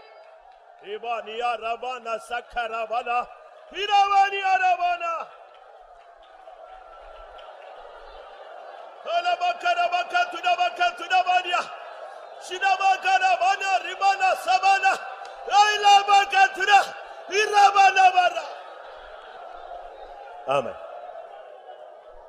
மூன்றாம் கட்ட அபிஷேகத்தை இன்றைக்கு தூதாக அவர் கொடுத்தது உண்மையானால் If it is true that Lord have given the three, the third level of anointing as a message for you, அது உனக்கு தேவை என்பதை அறிந்து இந்த வார்த்தையை தேவன் அனுப்பினது உண்மையானால் if it is true that it is needed for you, the Lord had sent that word to you, நான் விசுவாசிக்கிறேன் I believe தைல குப்பியோடு நம்முடைய மத்தியில் ஒருவர் இருக்க வேண்டும் the Lord should stand in our midst with a vial of oil in his hands. அவர் இப்பொழுது உன்னை கடந்து போக விடாத Don't allow him to cross over you. அவர் உன் தலையிலே அதை ஊற்றட்டும் Let him pour upon your head. அபிஷேக தைலத்தை உன் தலையில் வார்க்கட்டும் Let him pour upon the anointing oil upon your head. இயேசுவே ஊற்று ஊற்று ஊற்று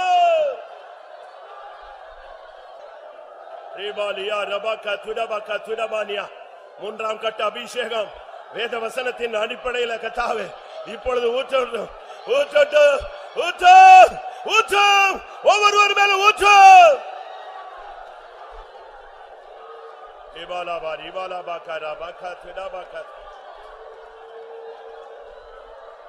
அமேன் ஊற்றிடுவீர் தேவ அன்பினையே சுத்தருள்ள உயிர்த்திடவே ஊற்றிடுவீர் தேவ சுத்தருள்ள உயிர்த்திடவே இமை மாற்றிடும் அபிஷேகதா இமை மாற்றிடும் அபிஷேகதா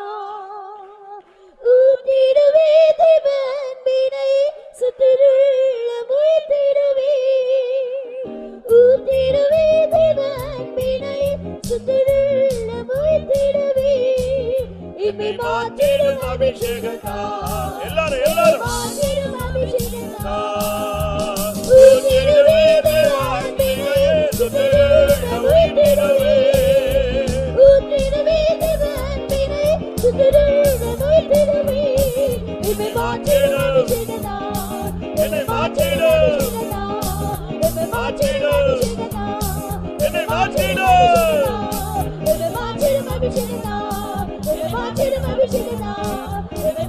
மாற்றிடும் அபிஷேகதா இமை மாற்றிடும் அபிஷேகதா இமை மாற்றிடும் அபிஷேகதா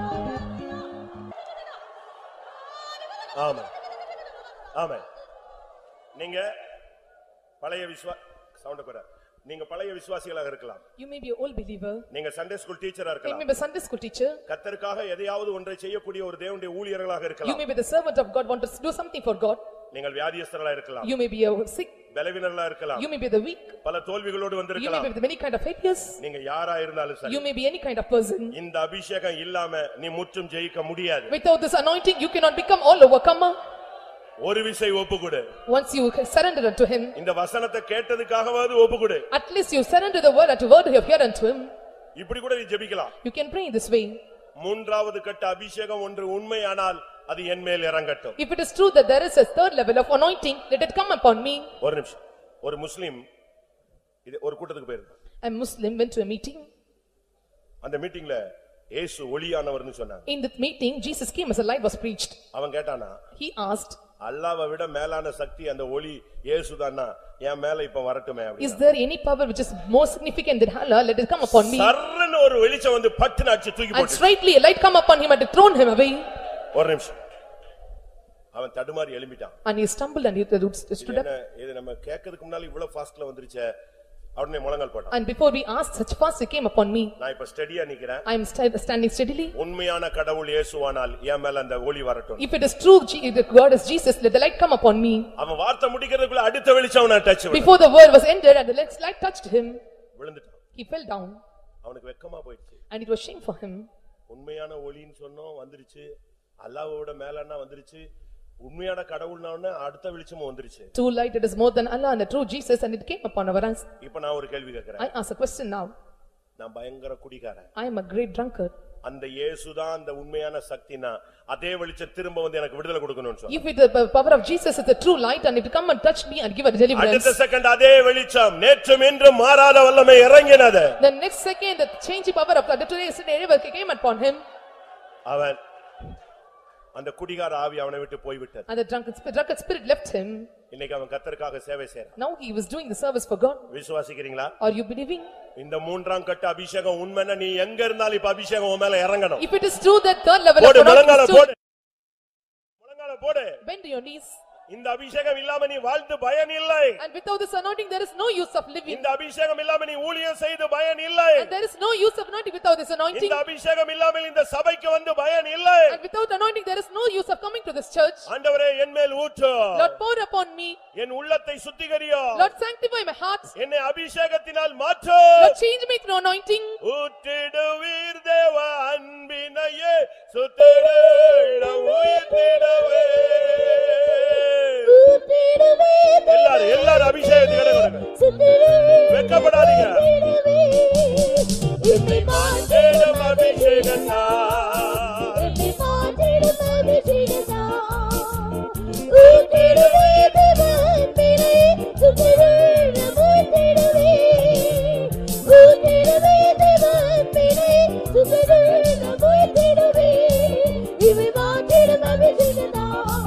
என்னை மாற்றிடு. Martino!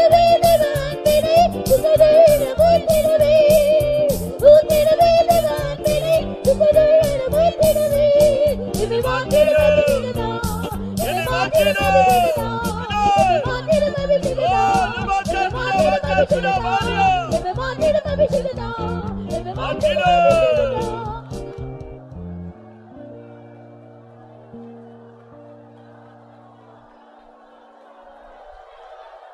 ஆமா எல்லா எல்லா வாலிப பையங்க பிள்ளைங்க எல்லாம் முழங்கால் போடுங்க All young boys and girls, bend your knees and stand. எல்லாரும் மியூசிக்லாம் வேண்டாம் எல்லாம் முழங்கால் போடு All stand on knees. எங்க இருந்தாலும் முழங்கால் போடு Wherever you are, stand on knees. எல்லா சண்டே ஸ்கூல் டீச்சர் முழங்கால் போடு All Sunday school teachers stand on knees. இன்னைக்கு கத்தர் உன்னை முத்தரிக்க போகிறார் And Lord is going to seal you today. இனி உன் வாழ்க்கையில நடக்க போற அற்புதங்களை பார்ப்பாய் And you will see the wonders which begin in your life. உன் மூலமாய் அந்த அற்புதங்கள் நடக்கும் The miracles will begin through you. உன் கண்கள் காண நடக்கும் It is for the sake of your eyes. இப்போ ஒரு அபிஷேகம் இறங்கணும் Now the anointing will come and descend அந்த. அபிஷேகத்தோடு நீ போ நீ வெற்றி சிறக்க பண்ணுவா With that anointing, depart from this place and you will become a victorious person. உன் மூலம் will crown you victory through you. வெக்கப்படாத Do not feel shame. அடக்கி வைக்காத Do not control yourself. வெக்கப்படாத Do not feel shame. ஆவியானவர் கொடி ஏற்றட்டும் Spirit of God, and let lift His banner upon you. ரிபானியா ஆலிபாலோ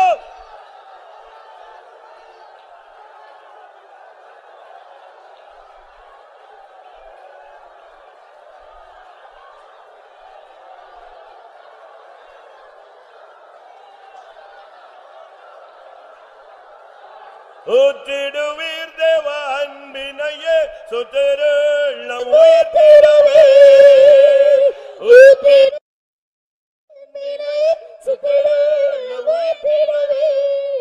என்னை மாற்றிடும் அபிஷேகத்தா. என்னை மாற்றிடும் அபிஷேகத்தா. ஊற்றிடுவே சுத்திடுவே ஊற்றிடுவே ஊற்றிடுவே தேவன்பினை சுத்திடுவே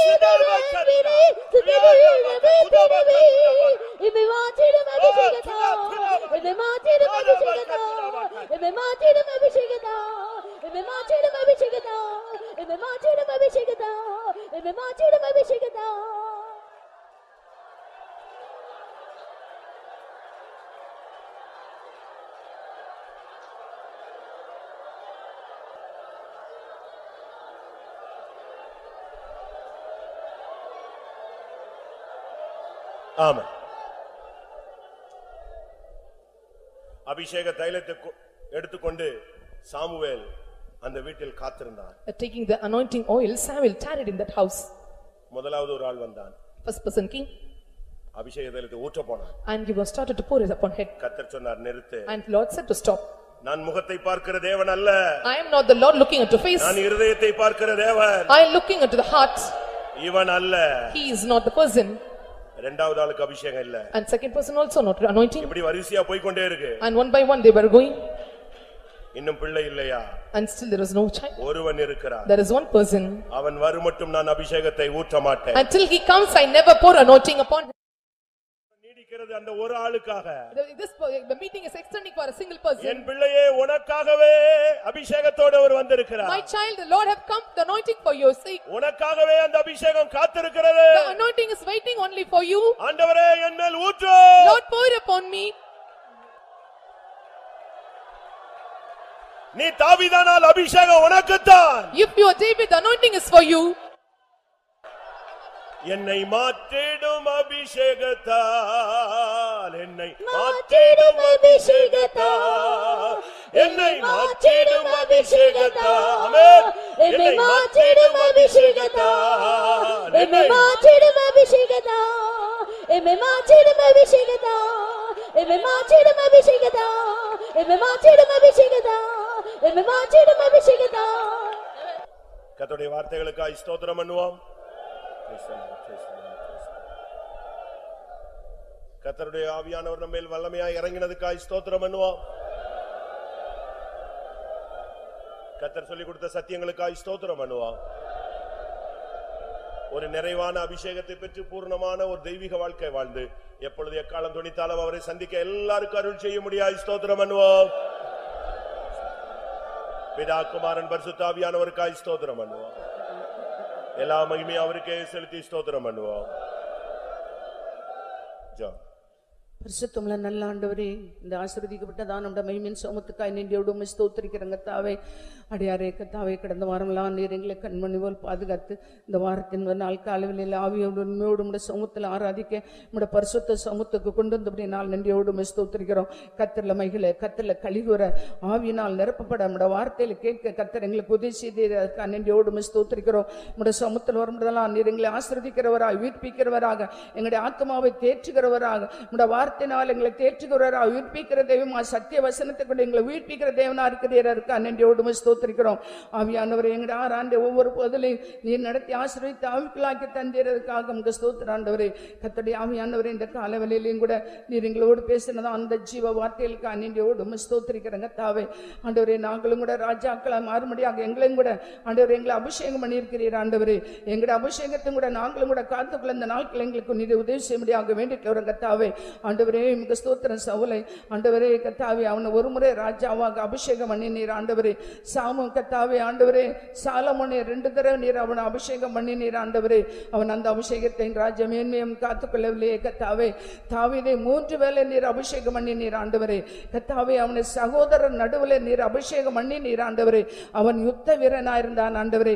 அவன் காரிய சமர்த்தனாய் புத்திசாலியா இருந்தது போல நாங்களும் கூட கத்தா யுத்த வீரராய் காரிய சமர்த்தராய் புத்திமான்களாய் நாங்களும் கூட நடந்து கொள்ள எங்களுக்கு நீர் உதவி செய்யும்படியாக வேண்டிக்கிறோம் கத்தாவே நீர் தாவிதே அபிஷேகம் பண்ணினது போல எங்களையும் கூட அபிஷேகத்திருக்கிறீர் ஆண்டவரே. இந்த அபிஷேகத்தை நாங்கள் காத்துக்குள்ள உதவி செய்யும். அந்த கத்தாவை தாவிது ஆண்டவரே சில காலங்கள் ஆண்டவரே இந்த அபிஷேகத்துக்கு ஆண்டவரே இடம் கூடாமல் பல நாட்களாக மலைகளிலும் ஆண்டவரே மேடுகளிலும் கத்தாவே ஆண்டவரே ஆண்டவரே வனாந்தரத்தில் அவன் நடந்திருந்தான் ஆண்டவரே.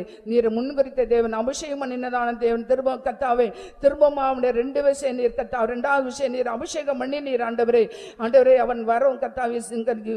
ஆண்டவரே அவனுக்கு விரோதமாக இஸ்ரேல் குடும்பத்துக்கு விரோதம் யூதா ஜனத்துக்கு விரோதமாக ஆண்டவரே யுத்தம் பலத்தது. ஆண்டவரே தாவி இது வர வர பலத்தான் என்று நாங்கள் கேட்டோம். ஆண்டவரே நாங்களும் கூட வர வர பலத்தர பலத்தவர்களாய் அபிஷேகத்தை காத்துக்கொள்வர்களாய் அபிஷேகத்தை புதுப்பிக்கிறவர்களாய் வல்லமை புதுப்பிக்கிற மனுஷரா நாங்கள் காணப்பட எங்களுக்கு உதவி செய்யும் கத்தாவே அவன் மூன்றாம் முறையாக கத்தாவே அபிஷேகம் பண்ணப்பட்டான். ஆண்டவரே அவன் மூன்றாம் முறையாக அபிஷேகம் பண்ணப்பட்ட பொழுது கத்தாவே சகல இஸ்ரேல் ஜனங்களுக்கு அவன் ராஜாவாக அபிஷேகம் பண்ணப்பட்டான். ஆண்டவரே அவன் அபிஷேகத்தை புதுப்பித்துக் கொண்டு ஆண்டவரே அவன் கத்தா நான் நிறைந்தவனாய். அவனுடைய ராஜ்யபாரம் பண்ணினான் ஆண்டவரே. அதுபோல நாங்களும் கூட கத்தாவே இந்த அபிஷேகத்தை காத்துக்கொள்ள எங்களுக்கு உதவி கத்தாவே. அவன் அபிஷேகத்தினால் அவன் சியோன் கட்டை பிடித்தான் ஆண்டவரே.